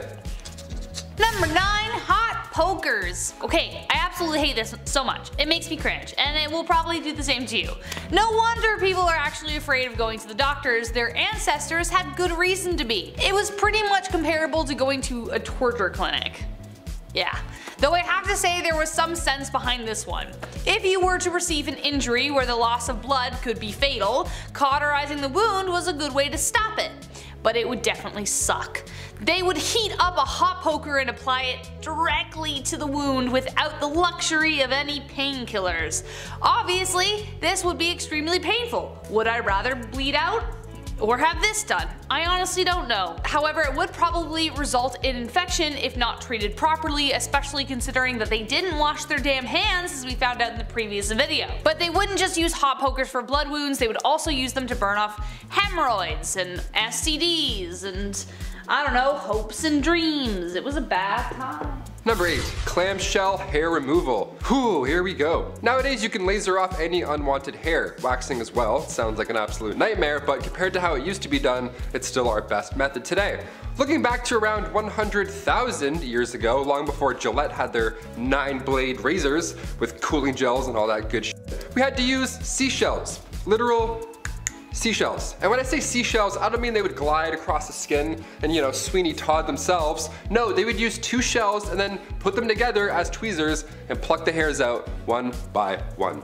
Seashells. Can you hear that? It's the sound of our ancestors plucking their eyebrows. They're still screaming. Sharpened clam shells were used later in the 19th century and we realized if they're flat enough we can swipe them off. So they were sharpening shells. Eventually they got to the gliding technique. Saves time but still it was horrible. And if that sounds bad, 30,000 years ago we used flint blades to shave.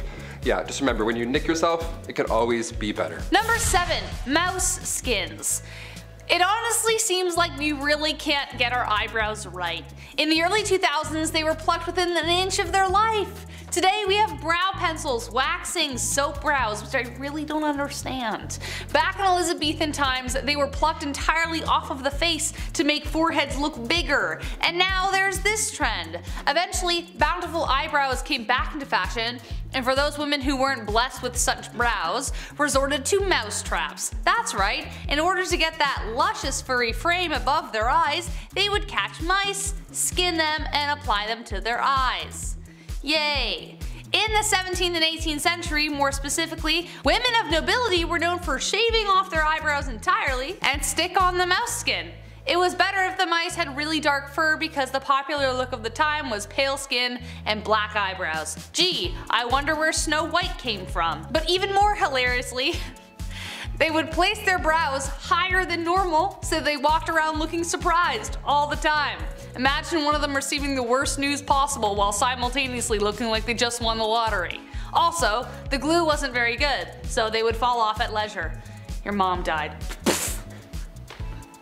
oh! Like what the heck? Number six, horsehair dental floss. Yeehaw! Okay, despite how annoying dentists can be sometimes, flossing is vital when it comes to mouth cleanliness. But using horses' hairs to do so, that just sounds counterproductive, no? Early human remains were studied and it showed these grooves in between their teeth. So they would sharpen these little sticks on both sides or use horsehair to get those hard to reach places. Even back then, way in ancient times. If it wasn't horsehair, it was thin long twigs. Honestly, I'd rather use the twigs. At least that has like a scent of some sort. I don't know, like mint, minto green, something like that. Horse back? No. It really wasn't until 1815 until a New Orleans dentist named Levi Spear started to use silk thread to floss in between the teeth instead of hair. Thank you, Levi. As fun as horsehair flossing sounds, I'm gonna stick to the spearmint. Spearmint. Levi Spear. Wait a minute. Number 5. The Human Fly Trap. This is honestly so five-head. A brilliant play. Might be one of the best moves I've ever seen. Have you ever been to a picnic with a nice sandwich, some fresh crisp potato chips, and an ice cold lemonade as you sit on a warm blanket, enjoying the view just over yonder? When all of a sudden you are attacked by a swarm of bugs that just ruin the vibes. And now you don't even want the sandwich. Who made this lemonade? It's so bitter. I don't even like chips. The pharaohs of ancient Egypt felt the same way, except they had a great way to deal with it. Simply take a few of my servants and slather them in honey. Place them away from our royal picnic and bada bing bada boom, you got no more flies bothering you or your sandwich. This honestly sounds completely cruel and at a time when hygiene in general wasn't great, how did they get all that honey off? Sure, a dip in the Nile will get rid of most of it, but you'd probably just glaze yourself for a crocodile's lunch. Honey would get stuck in places where the sun don't shine. And just like shame, you can never really wash it off. Number four, ancient sunscreen. As soon as summer comes around, game over honey. I burn so easily. I have freckles for two days, then the rest is just red and un just bad, all bad. That's why I'm a fan of winter. I don't have to keep applying sunscreen to my face all day and feel like I'm about to faint. But how did Egyptians beat the heat in ancient times? They didn't have Banana Breeze SPF 35. What did they do? Well, ancient Egyptians valued their skin as a symbol of beauty. You think your morning skincare routine requires a lot of work? Yeah, buckle up. Their routine was written on a tomb wall and also scrolls. They used rice bran containing UV absorbing gamma oryzanol and that was used to block the sun off. Jasmine as well helped repair sun damage. Just some chick named Jasmine, she was like, don't look at it, just stop. Ancient Greeks used olive oil as sunscreen, which as far as UV protection goes, did absolutely next to nothing. You'd be burnt and dehydrated, but you know what? Tan line, so Number 3. Red Dead Bandage. America 1864. There's a polite disagreement between North and South whether the South should be still using YouTube's least favorite S word as a business practice. The verdict? It wasn't very nice. That aside, the Southern states fought hard for a very stupid reason. Idiots. Such a hard fight in the fact that it was taking a serious toll on everyone specifically the southern economy and civilians who got caught in the raw end of the deal. The war was a huge cost of life and money for both sides, but the South just didn't have the same resources the North did. So, after years of fighting, things weren't looking too good.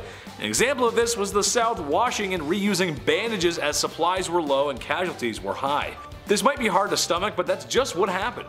Nurses washed the blood off of blood-soaked rags and bandages to reuse simply because there was no supply. I don't have to be a doctor to tell you that reusing bandages in a time before antibiotics is a bad idea. It might be better to just not have a bandage in that case at all as the chance for infection would significantly increase. Dutch, you got any fresh band-aids over there? I scraped my knee fighting with Micah. Hurts real bad. Maybe get John to kiss my boo-boo better. Number two, ancient socks. Somebody got me socks as a gift over the holidays and let me tell you, Still the best thing you can get. Socks and lip balm, you can do anything you want. Game over. Socks in ancient Greece were not the right and left neon green athletic socks that you have today. No, not even close. Socks came around in the 8th century BC, made fresh from, you guessed it, animal hairs. Yeah, it was gross. This actually led to Romans tying animal skins around their feet and then tying them up. Cut to the 2nd century AD in ancient Rome, the sock game got real. Romans began using fabrics instead of animal skins and it was softer, lighter, and all that jazz. And then later on in the 5th century, socks were worn only by the most holy. Socks were associated with the church, they were considered a symbol of purity. Yeah, you heard it. Socks would go all the way up to your leg, a little different than the New Balance ones we have now that just go up to your ankle that, you know, fall off when you're halfway to work and then make you really upset. I have one right now, I'm gonna go figure it out. Number one, heavy stomach. We as humans need food and water to live. Water honestly being number one. I mean, I could eat a little bit more, but water's more important. But it is what it is sometimes. People in the past had no choice but to build water pipes out of lead. Sure, maybe it wasn't common knowledge that the lead was toxic, but a lot of people did know. So that's why all the cities that sparked up during the Industrial Revolution were built with such. Lead as a material did make sense as it was cheap and easy to use, so that simply outweighed the health risk of lead poisoning. Lead was a common material in other products as well. But when your drinking water is supposed to be fresh, maybe it's time to spend a little more so we don't end up, you know, spending a lot more on healthcare for lead poisoning. After years of being underground, the pipes corrode and leak toxins into the water stream. It's why in older cities, a lot of time and money is spent today replacing old pipe infrastructure. To me, it's a classic case of, eh, let somebody else deal with it, I'm sure it's fine. Well, I'm off to go work in a completely safe asbestos factory. I'm sure there's nothing wrong or bad in there. Kicking off the list at number 10, hot topics.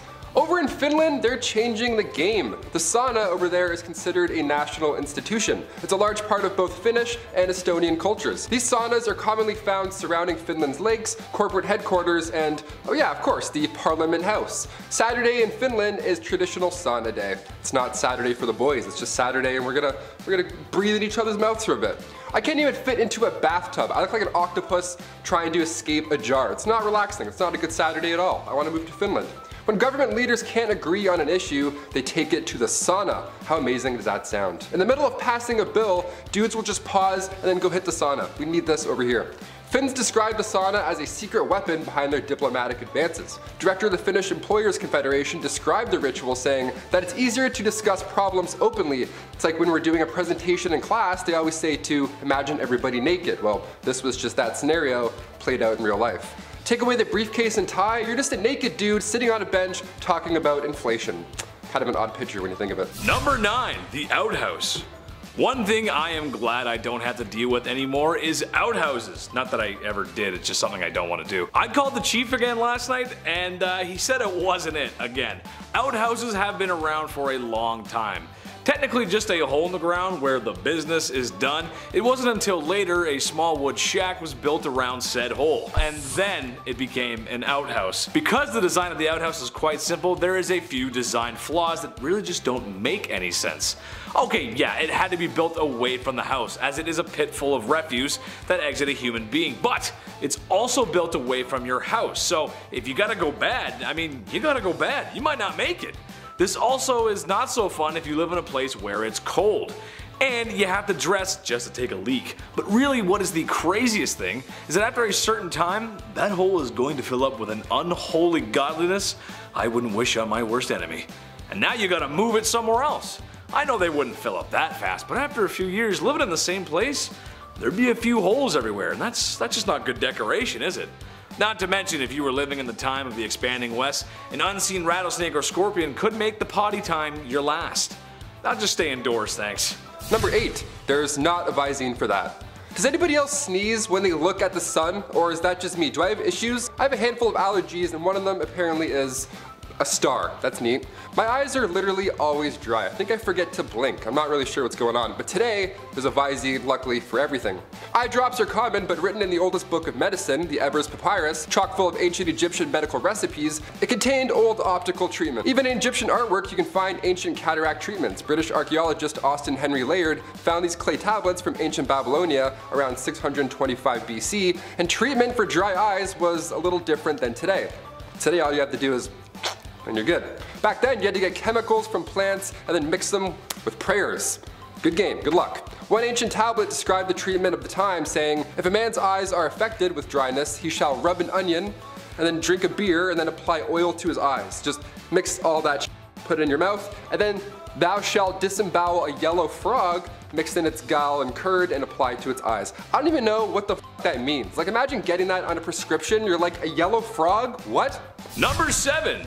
One night with Venus, two years with Mercury. It wasn't too long after humans discovered toe curling that as much fun as that may be, there can be some unfortunate side effects. Knowing somebody in the biblical sense can transmit not so fun diseases if you catch my drift like syphilis. Early stages being sores and uncomfortable rashes, late stages having much more serious side effects, like blindness, heart disease, and oh yeah, it can make you go crazy. So throughout history, and especially before there was antibiotics, how do you treat a disease so common amongst people participating in the devil's dance? Liquid mercury, yep. People tried to treat a disease by consuming liquid mercury. When applied to the skin, it burned. Therefore, if it hurts, it works. It was noted that syphilis would go away after mercury treatments, but this could have just been a stage of the bedroom rodeo disease as its symptoms disappear right before things get bad. This is also assuming that people taking mercury aren't getting sick of mercury poisoning in the first place. This practice continued way longer than it should have as it wasn't until discoveries made in the 1900s that a better option for treating the brothel related illness. Honestly, with this kind of logic, anything's possible. Sky's the limit when you're crazy. Number 6. The Great Stink of 1858. It's one thing living through a pandemic, but at least we're not living through something called the Great Stink. Yeah, the Great Stink of 1858. Who was responsible for this? What did you eat? What happened? Well, this was an event in central London and it lasted for a few months. In the summertime too, which is just great for great stinks. It was so hot and dry that the Thames dried up, leaving just sewage, just all that gross you can imagine. The smell was so bad, Parliament had to close for an entire day. I wanna know who the first guy was to be like, you know what? Nah, I'm going home. This sucks. This sucks. Good call. In order to continue work, Parliament had to soak the curtains on the riverside of the building in lime chloride just so they wouldn't be sick. They just soak it in chloride to be like, that's better, it's better, we think. They were on the verge of moving their entire operation to Oxford, that's how bad it was. Members of the committee were quitting their jobs. While this sounds all bad, hundreds of tons of limes were being discharged into sewers to help the smell. So if you had a stuffy nose in July 1858, you could have made 1500 pounds a week just messing around with limes. You missed your shot. Number 5. Dark dental days. Dental health is important. We have the charcoal toothpaste trend that I myself even hopped onto recently. But why are we even doing it? Do we know? Other than it's on TikTok? Well, it helps remove stains, but aside from that, there's no hard evidence that this is the next best brushing method. We do it because it's popular. It feels like we're missing out on something. Well, Queen Elizabeth I apparently had a pretty strong desire for a Mars bar too, but back in the day, they didn't have TikTok. Brushing wasn't cool, nor was it perfected in any sense. The Queen's teeth became riddled with cavities. Her teeth straight up began to rot, and subsequently turned black. But seeing as she's the literal queen, people wanted to be just like her in any way. She started a short-lived trend where women blacken their teeth on purpose just so they would appear rich enough to afford sugar. That's wild. That's like me walking around in a neck brace being like, oh yeah, I crashed my Lamborghini. I totally have one of those. Number four, arsenic. I think they were confusing this chemical with Accutane, which is a chemical we use today to treat acne, but for a while, arsenic wafers were used. Yes, the poison, arsenic, the thing that would kill you, yeah that one. In the 19th century, arsenic was marketed as a safe way safe way to effectively clear your skin. It also claimed to restore a youthful complexion that we as humans always long for. Now it did create a very pallid complexion but not because it was restoring the gift of life, but because it was killing off the consumer's blood cells. Yay! It also cleared acne pretty well, but it also created a dependency on the product. If the user discontinued using the wafers, then the acne would return, even worse this time, therefore it would create a vicious cycle of slowly poisoning oneself to death because you'd have to go back on it so you'd look hot, I don't know. Number 3. The Tricho system. Instead of plucking your eyebrows before prom or getting waxed head to toe like we commonly do so today, back in the 1920s you needed the Tricho system to remove any unwanted hair. This device was booming in the 20s. Hair salons just had to have this machine, and I'll call it machine. It was changing the game. By 1925, there were over 75 systems installed in beauty shops, and what you would do is you would sit at this large desk,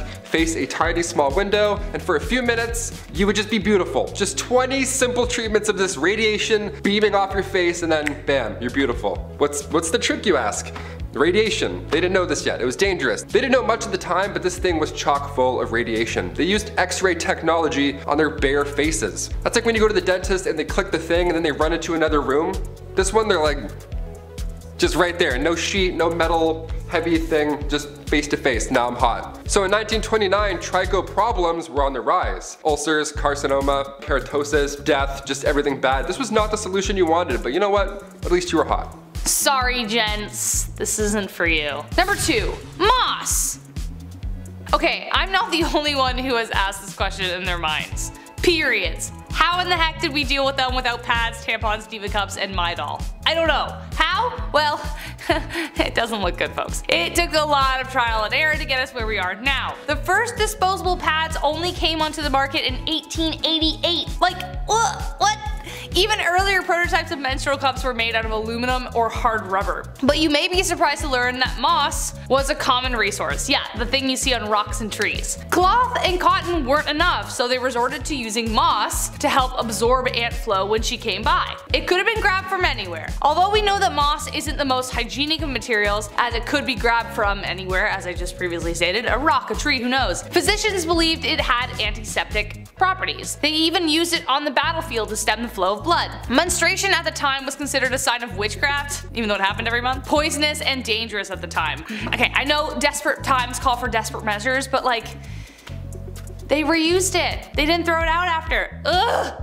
Ugh. And finally, number one, Roman toilets. When I go to the washroom, number two, whatever, that's my time. I'll straight up hold it for like three business days until I get home. It's called a bowel movement for a reason. It's a movement, it's an event. I need isolation, quietness. These poor Romans, I mean, thank you for inventing the toilet and all, that's really great and dandy, but I feel very bad for the first group of individuals that had to use these stone benches. The early OG toilets. God, that looks so cold. Also, I guess stalls, like walls, they weren't invented until much later. Couldn't have thrown up some Bristol board, Euphelius? I don't want to be shoulder to shoulder with a guy who accidentally gulped uh, some public spa water hours prior. And don't even worry about wiping also because that wasn't invented until much later. You just do the old scrape, do the old stone cold scrape off the bench and then call it a day. Give this video a Roman thumbs down if you're glad for toilets. That means thumbs up.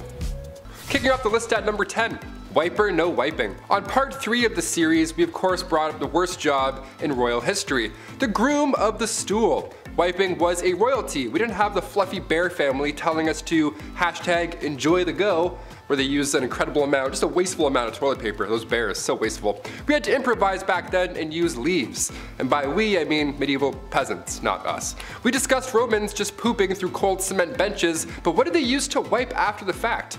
Well, that was the sponge on the stick method, which I'll be honest, that's my favorite of the ancient methods. Cause you know somebody had the perfect stick, right? Like one that was like, hmm, hmm, just the perfect angle to really get in there. No, the sponge on the stick wasn't that fun at all. It was actually communal, it was all bad. You had to share it, be like, oh, okay.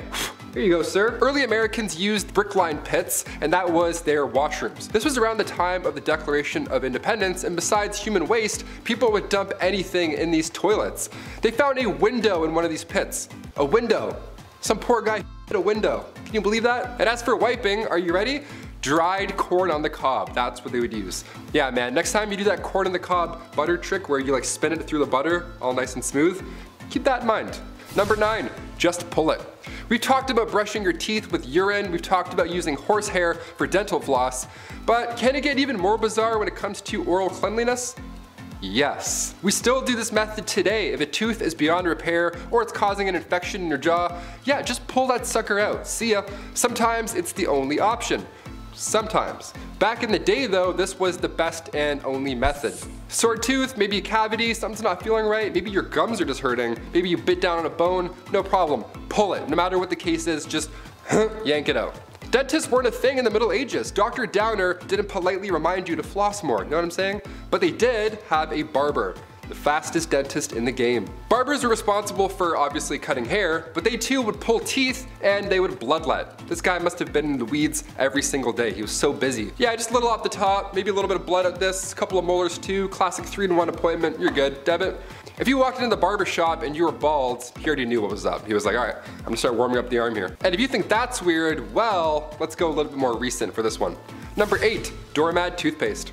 We've mentioned some horrible lipsticks and face powders, so we need to mention this disaster of a brand. Moving past the days where your barber pulls out the problem in the 1940s, we had toothpaste. Yes, we had it. This is good. In fact, we had the most powerful toothpaste ever to this day. It was called Doramad. Okay, yeah, so back in the 40s, people were brushing with radiation. Even on the actual tube, it says radioactive ingredients increase the defense of teeth and gums. Okay. These cells are loaded with new life energy. The bacteria is hindered in their destroying effect, leaving behind a pleasant, mild, refreshing taste. Ah, yummy. Its radioactivity was low in comparison, but the fact that this existed once, not too long ago, is just wild to me. Good gums don't bleed, they actually glow. What would their slogan be today? Doramad, accelerate your breath. Number 7. Shards and Sharts. Oh, you thought we were done with the Bum Bum history. I think again. This is a part 4 and honestly, I could do 4 more parts on wiping alone. It's a pretty big deal, it's nuts. We don't realize how lucky we are. During the pandemic, for example, one of the first things people stocked up on was toilet paper. It's worrisome to not have six rolls on standby. You start getting anxious, right? You're like, oh, but what if I eat some lobster? I don't know. Whatever makes your tummy upset. Now you know a little bit more about me. But nobody did it like the ancient Greeks, and I mean nobody. Survey says ancient Greeks would wipe using broken pieces of ceramic. Oh my god.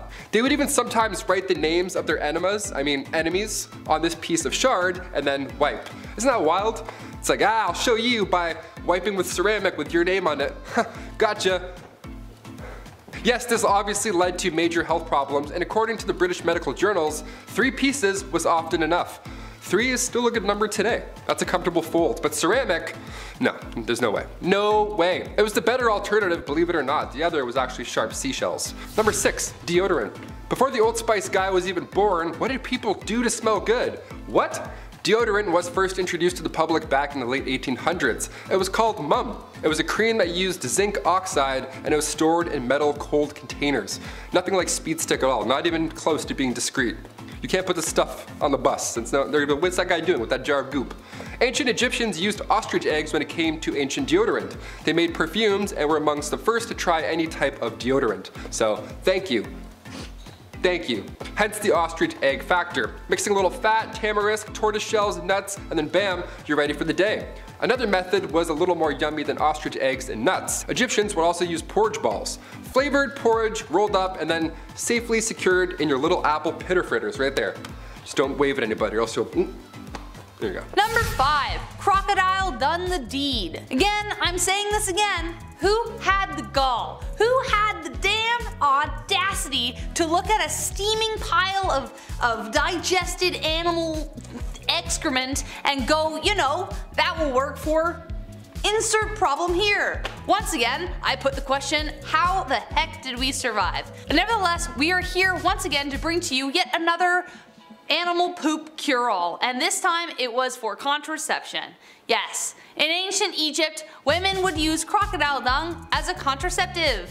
Yay! Now, crocodiles were worshipped and sacred to the ancient Egyptians, so that could be one reason why they thought it would help.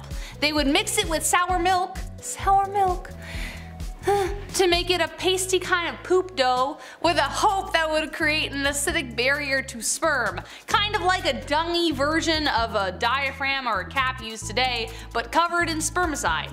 We had to start somewhere, but I honestly can't think of a better way to kill the mood. Hold on, honey. Gotta shove some poop out there. Number four, sulfur for freckles. Ooh, this next one gets me hot. This next one is, hits too close to home. Sorry, frecklers. I love my freckles. Every summer they pop harder and harder better, faster, and stronger. I love them. But back in the day, there were some pretty insane methods to get rid of them. I know, get rid of them. How could you, right? How dare you? Having freckles in ancient Roman days meant you couldn't participate in your favorite magical rituals. yeah, sorry Balthazar, I'll catch the next meeting I guess. I'm gonna go wash up. Having freckles meant you were impure or polluted. And in ancient Greece, having a beauty mark or a thousand on your face or cheek meant a bright future was in store for you. So depends really where I am. That kind of, I'm like, huh?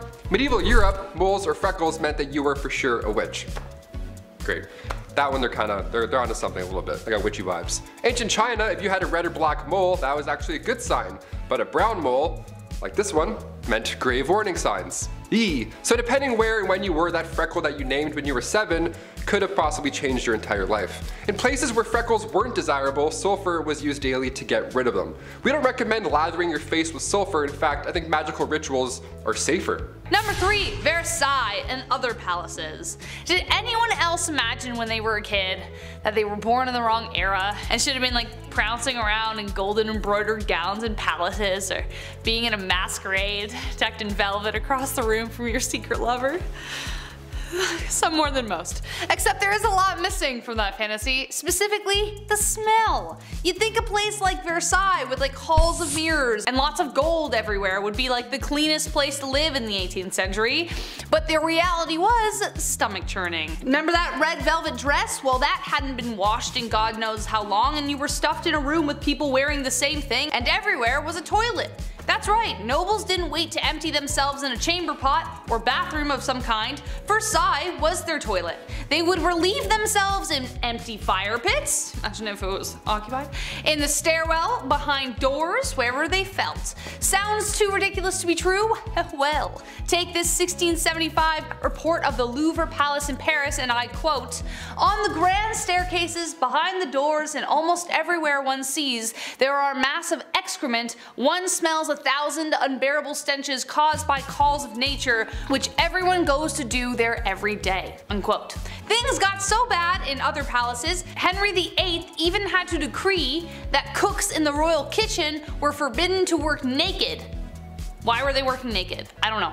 Or in garments of such vileness as they do. So as for my first point, I think I was born in precisely the right era. Number two, finger food. You ever go to somebody's house for dinner and they have like 15 forks laying in front of you, just way too many utensils for no reason. That's why I like nachos, okay? It's not intimidating. Burgers aren't intimidating. You can just eat with your hands and get messy. It's easier. It's way more fun as well just to dive in and make an absolute mess. Like medieval times for example, they had cutlery, but you had to be somebody fancy to have it. Most of the population, being poor and all, had to eat with their hands. Chopsticks were first used during the Shang dynasty, the oldest chopsticks ever found went as far back as 3000 BC. But come 400 AD, China's population spiked, resulting in a lack of resources for food. These stirring sticks now got a lot smaller to fit for their smaller portions, and that was the start of chopsticks. Fun fact. Come the 16th century, the rich and fancy carried their own set of forks with them to their royal dinner. King Charles V of France had a vault a vault with a few forks in it. He's like, hey, check this one out. Bing. That's how rare that kind of metal work was back in medieval times. I bring plastic forks to work. Does that count for something? I have like two in my backpack, maybe three. Number one, and last but not least, a gong farmer. Adding to that fantasy I spoke about earlier, living in a castle with a glistening, sparkling moat. What moat could you want? Well, I'm sorry to say that moats often doubled as toilets.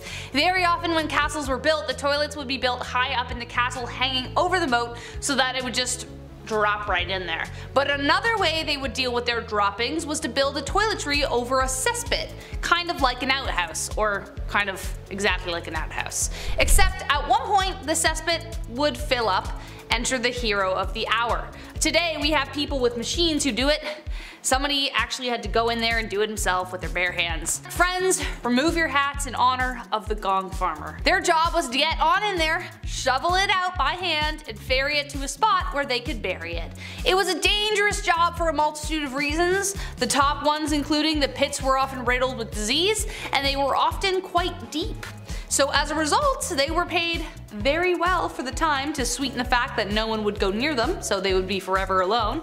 But even then, lives were lost. One man by the name of Richard the Raker fell into one and drowned. What a way to go. Kicking off the list at number 10, pig toilets. Yeah, we'll start off with a nasty one. Look, we're on the part 6 now, we're talking about some ancient hygiene practices. It's gonna get gross, it just has to at this point. I've talked about Roman toilets, horsehair dental floss, so now we gotta dive into some yucky stuff. Pig toilets began around 200 BC in China, and these pig toilets were actually pretty common. You would just go to the washroom over top of a pig pen. It's pretty straightforward. It's pretty awful, but also it's all they had. It was pretty awful, but I would say it's worse for the pigs. Definitely worse for the pigs. The pigs would eat the waste because it was mixed into their food. They couldn't tell the difference. Ugh, horrible. This was one of the few options to manage waste, especially in areas where plumbing wasn't possible. I talked about pigs going to court in a recent Bumblebee video. If I was a pig, I would be pressing charges left, right, and center after this. That's so disgusting. We're at number 10 and I want to puke. Nice, buckle up. Number 9, water closets. This one sounds fun. A closet full of water. What a blast, pun intended. Back in the 1800s, all over Europe, our modern day version of the bathroom came to life. Thankfully, I'm very glad this happened. If it didn't happen, it'd be It'd be a little bit different nowadays. It takes two things to have a water closet. A home big enough for a room purely devoted to waste, which is amazing. And of course, running water, that definitely helps. Sir John Harrington, godson to Queen Elizabeth I, was determined to invent what we now know as the basic toilet. Back in 1596, he created this idea, and people actually made fun of this guy for spending so much time working on a useless device. Yeah, the more we know. Cut to 200 years later, another inventor by the name of Alexander Cummings reworked the water closet, added an S-trap, the little valve between the top and the bottom parts of the bowl, and now we're on the right track. Then a couple years later, in 1777, Samuel Prosser applied for a plunger closet patent and got it. A year later after that, Joseph Bramah enters the toilet game, adds a valve on the bottom, an old school ball cock. So we're getting there, slowly over time. Different inventors are bringing their new ideas in, all so that we can go and take a Brodmann was a sailor at the time, so his water closet was often used on ships of that era. Today we have toilets that flush automatically. Once you get up or move around, the sensors think you're done, and then they blast away. If you stand and wipe, good game. Thing's gonna be making noise all day long. Number eight, Bald face. In another video on things too woke for this era, I talked about how it was once cool to have no hair on your face at all. I can't grow any facial hair, so this is this reaches out to me. This is good. I like this. I like punching out this fact. Well, Queen Elizabeth I was the first to bring this idea into Western culture. She influenced women to completely pluck their eyebrows, and on top of that, they would also shave their hairline back as far as they could, so their faces would be as large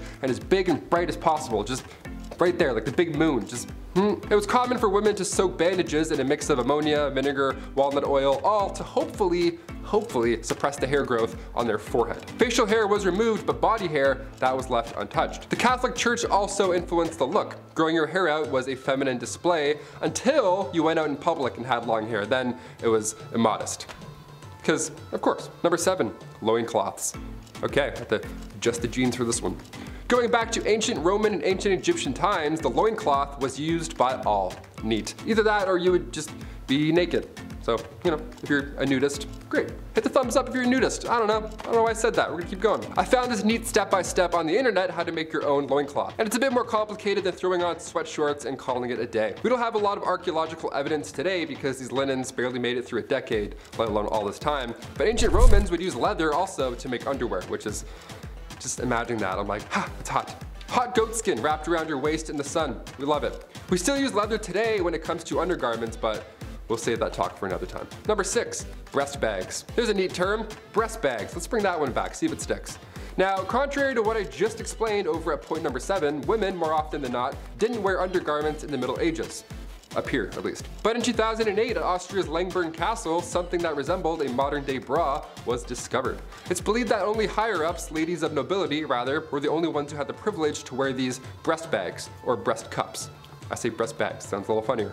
We have bags of milk in Canada, so you know, I'm connecting the, yeah, that's, that's, I gotta connect the jokes. I can't say much personally, but this does not look supportive enough at all. It's like a pirate flag, it's like ripped apart, it's nothing. If you have back problems, I don't think these breast bags are gonna help you. If you're ever catching up on some 13th century readings, well, now you have an image when you see the word breast bag. This, this eye patch that they called support. Number five, shampoo. When my hair grew longer over the pandemic, I had a huge wake up call. I had no idea what I was doing. I only used the guy's shampoo, you know, like the classic 4-in-1 shampoos. That wasn't working anymore. I needed some curl cream. I needed shampoo and conditioner, separate things. It takes time to figure out what works with your flow, but the ancient Romans, they didn't have head and shoulders. They would just dip their hair in cold water at a public bathhouse, also very public, and then rub and scrape oils away. LimeWire was also used to wash your hair back then, but that was horrible. It's just as useful as lime wire. Sometimes Europeans wouldn't even use water at all. They would just rub their head with bran before bed and then brush it out with a comb in the morning. Yeah, bran. I used dog shampoo once by accident. Honestly guys, I'm not gonna lie. There's something they're not telling us. It was too nice. Number four, Aqua Tofana. Not to be confused with Aquafina, which is also pretty horrible, Aqua Tofana was hot in the 17th century. This was a straight up poison that was marketed as a cosmetic. This was during the late 1600s and it was first used by two women, Francesca La Sarda and Teofania di Adamo. They used this cosmetic, this makeup, so that when their husbands kissed them on the cheek, they would then be poisoned. It's named after its creator, a lady named Tefania, who was caught and executed for her crimes, but her recipe carried on through who we believe was her daughter, Julia Tofana. She took this deadly recipe all the way to Rome and then kept manufacturing it. Inside this cursed cosmetic was arsenic, lead, and perhaps belladonna. It was colorless, tasteless, and one of the deadliest. This cosmetic took over 600 lives. Brutal. Number 3. Baldness. So what if you're going bald but you don't have a massive 16th century stupid wig, then what do you do? Well, back in those days, if your hair started to thin out or you were losing patches, you would need a mix of chicken droppings. Yeah, chicken mixed with potassium. Okay. This ancient advice comes from a man named Peter Levens. He wrote this method down in 1654 as an alternative to lice-infected wigs. Both sound absolutely horrible. Honestly, I think I'd rather the lice-infected wig. At least then you can just take it off. Number two, Sailor's Delight. Life on the sea was all but a sea breeze, and even today, you know how hard it is to take a on a boat? Whale watching's fun and games until your stomach decides it's had enough of the sea and wants to go home. While it's a rockin' and rollin' way of using the loo, how did sailors do it back in the day, before anything helpful? Was it easier being far away from the general public? Was it helpful that water was all around the place? Honestly, not really. That's when a tow rag comes into play. Yeah, anytime the word rag is used, you're not in for a good time. Near the head of the ship where the toilet was, this little indent or whatever the toilet, it wasn't a toilet, it was a hole, there was a single rope with a rag, and when it wasn't being used, or shared rather, the rag would be tossed over the side of the ship so it would just dangle in the water and wash away all day, which is fine, I think. I'm not really sure. The sharing is caring thing, I'm not on board for, pun intended. Do you fold, do you scrunch, or do you use barnacle rope? How do you do it, guys? Comment down below. Number one, Q-tips. I love Q-tips a lot. I do two at the same time, and then I flip them and then I do it again. Yeah, I get them twice. The first one for cleanliness, the second one because it's for me, because I feel like it. Sue me. My eyes roll right back. It's the best. If COVID tests were done through your ear, I'd be getting tested twice a day just for fun. Q-tips, most of us know by now, weren't exactly made for cleaning your ears. As much as we only use them for that, Q-tips were invented in 1923 by a man named Leo Gerstenzang after his wife stuck cotton balls to the end of a toothpick. Sounds a lot like she invented Q-tips, but sure, we'll roll with it. From 1923 to 1926, they were named Baby Gays, and then Q-tip Baby Gays, and then finally just Q-tips. Baby Ray's is like, mm, too close. Sweet Baby Ray's is like way too close. Our, our sauce is not even close to that product. Back in those days, Q-tips were actually dipped in boric acid first before being shipped out. They were intended to sterilize wounds. After this, there was even Q soaps, Q oils, Q creams, Q cards, whatever, you name it. Anything that made you a QT. So what's this rumor that they're not supposed to be used in your ears? Like, sorry, what? What's that all about? Is that real? Well, in 2008, otologist Dennis Fitzgerald brought forward concerns about Q-tips and how they're really pushing earwax further into your ear canal, leading to possible infections. When Chesebrough Ponds bought the company in 1962, they added the warning on the box, a warning we all gladly will still ignore, like I said at the beginning. Mm. I take one look at my earbuds and I'm like, yeah, I need four Q-tips right away. I need Q-tips yesterday. Yeah.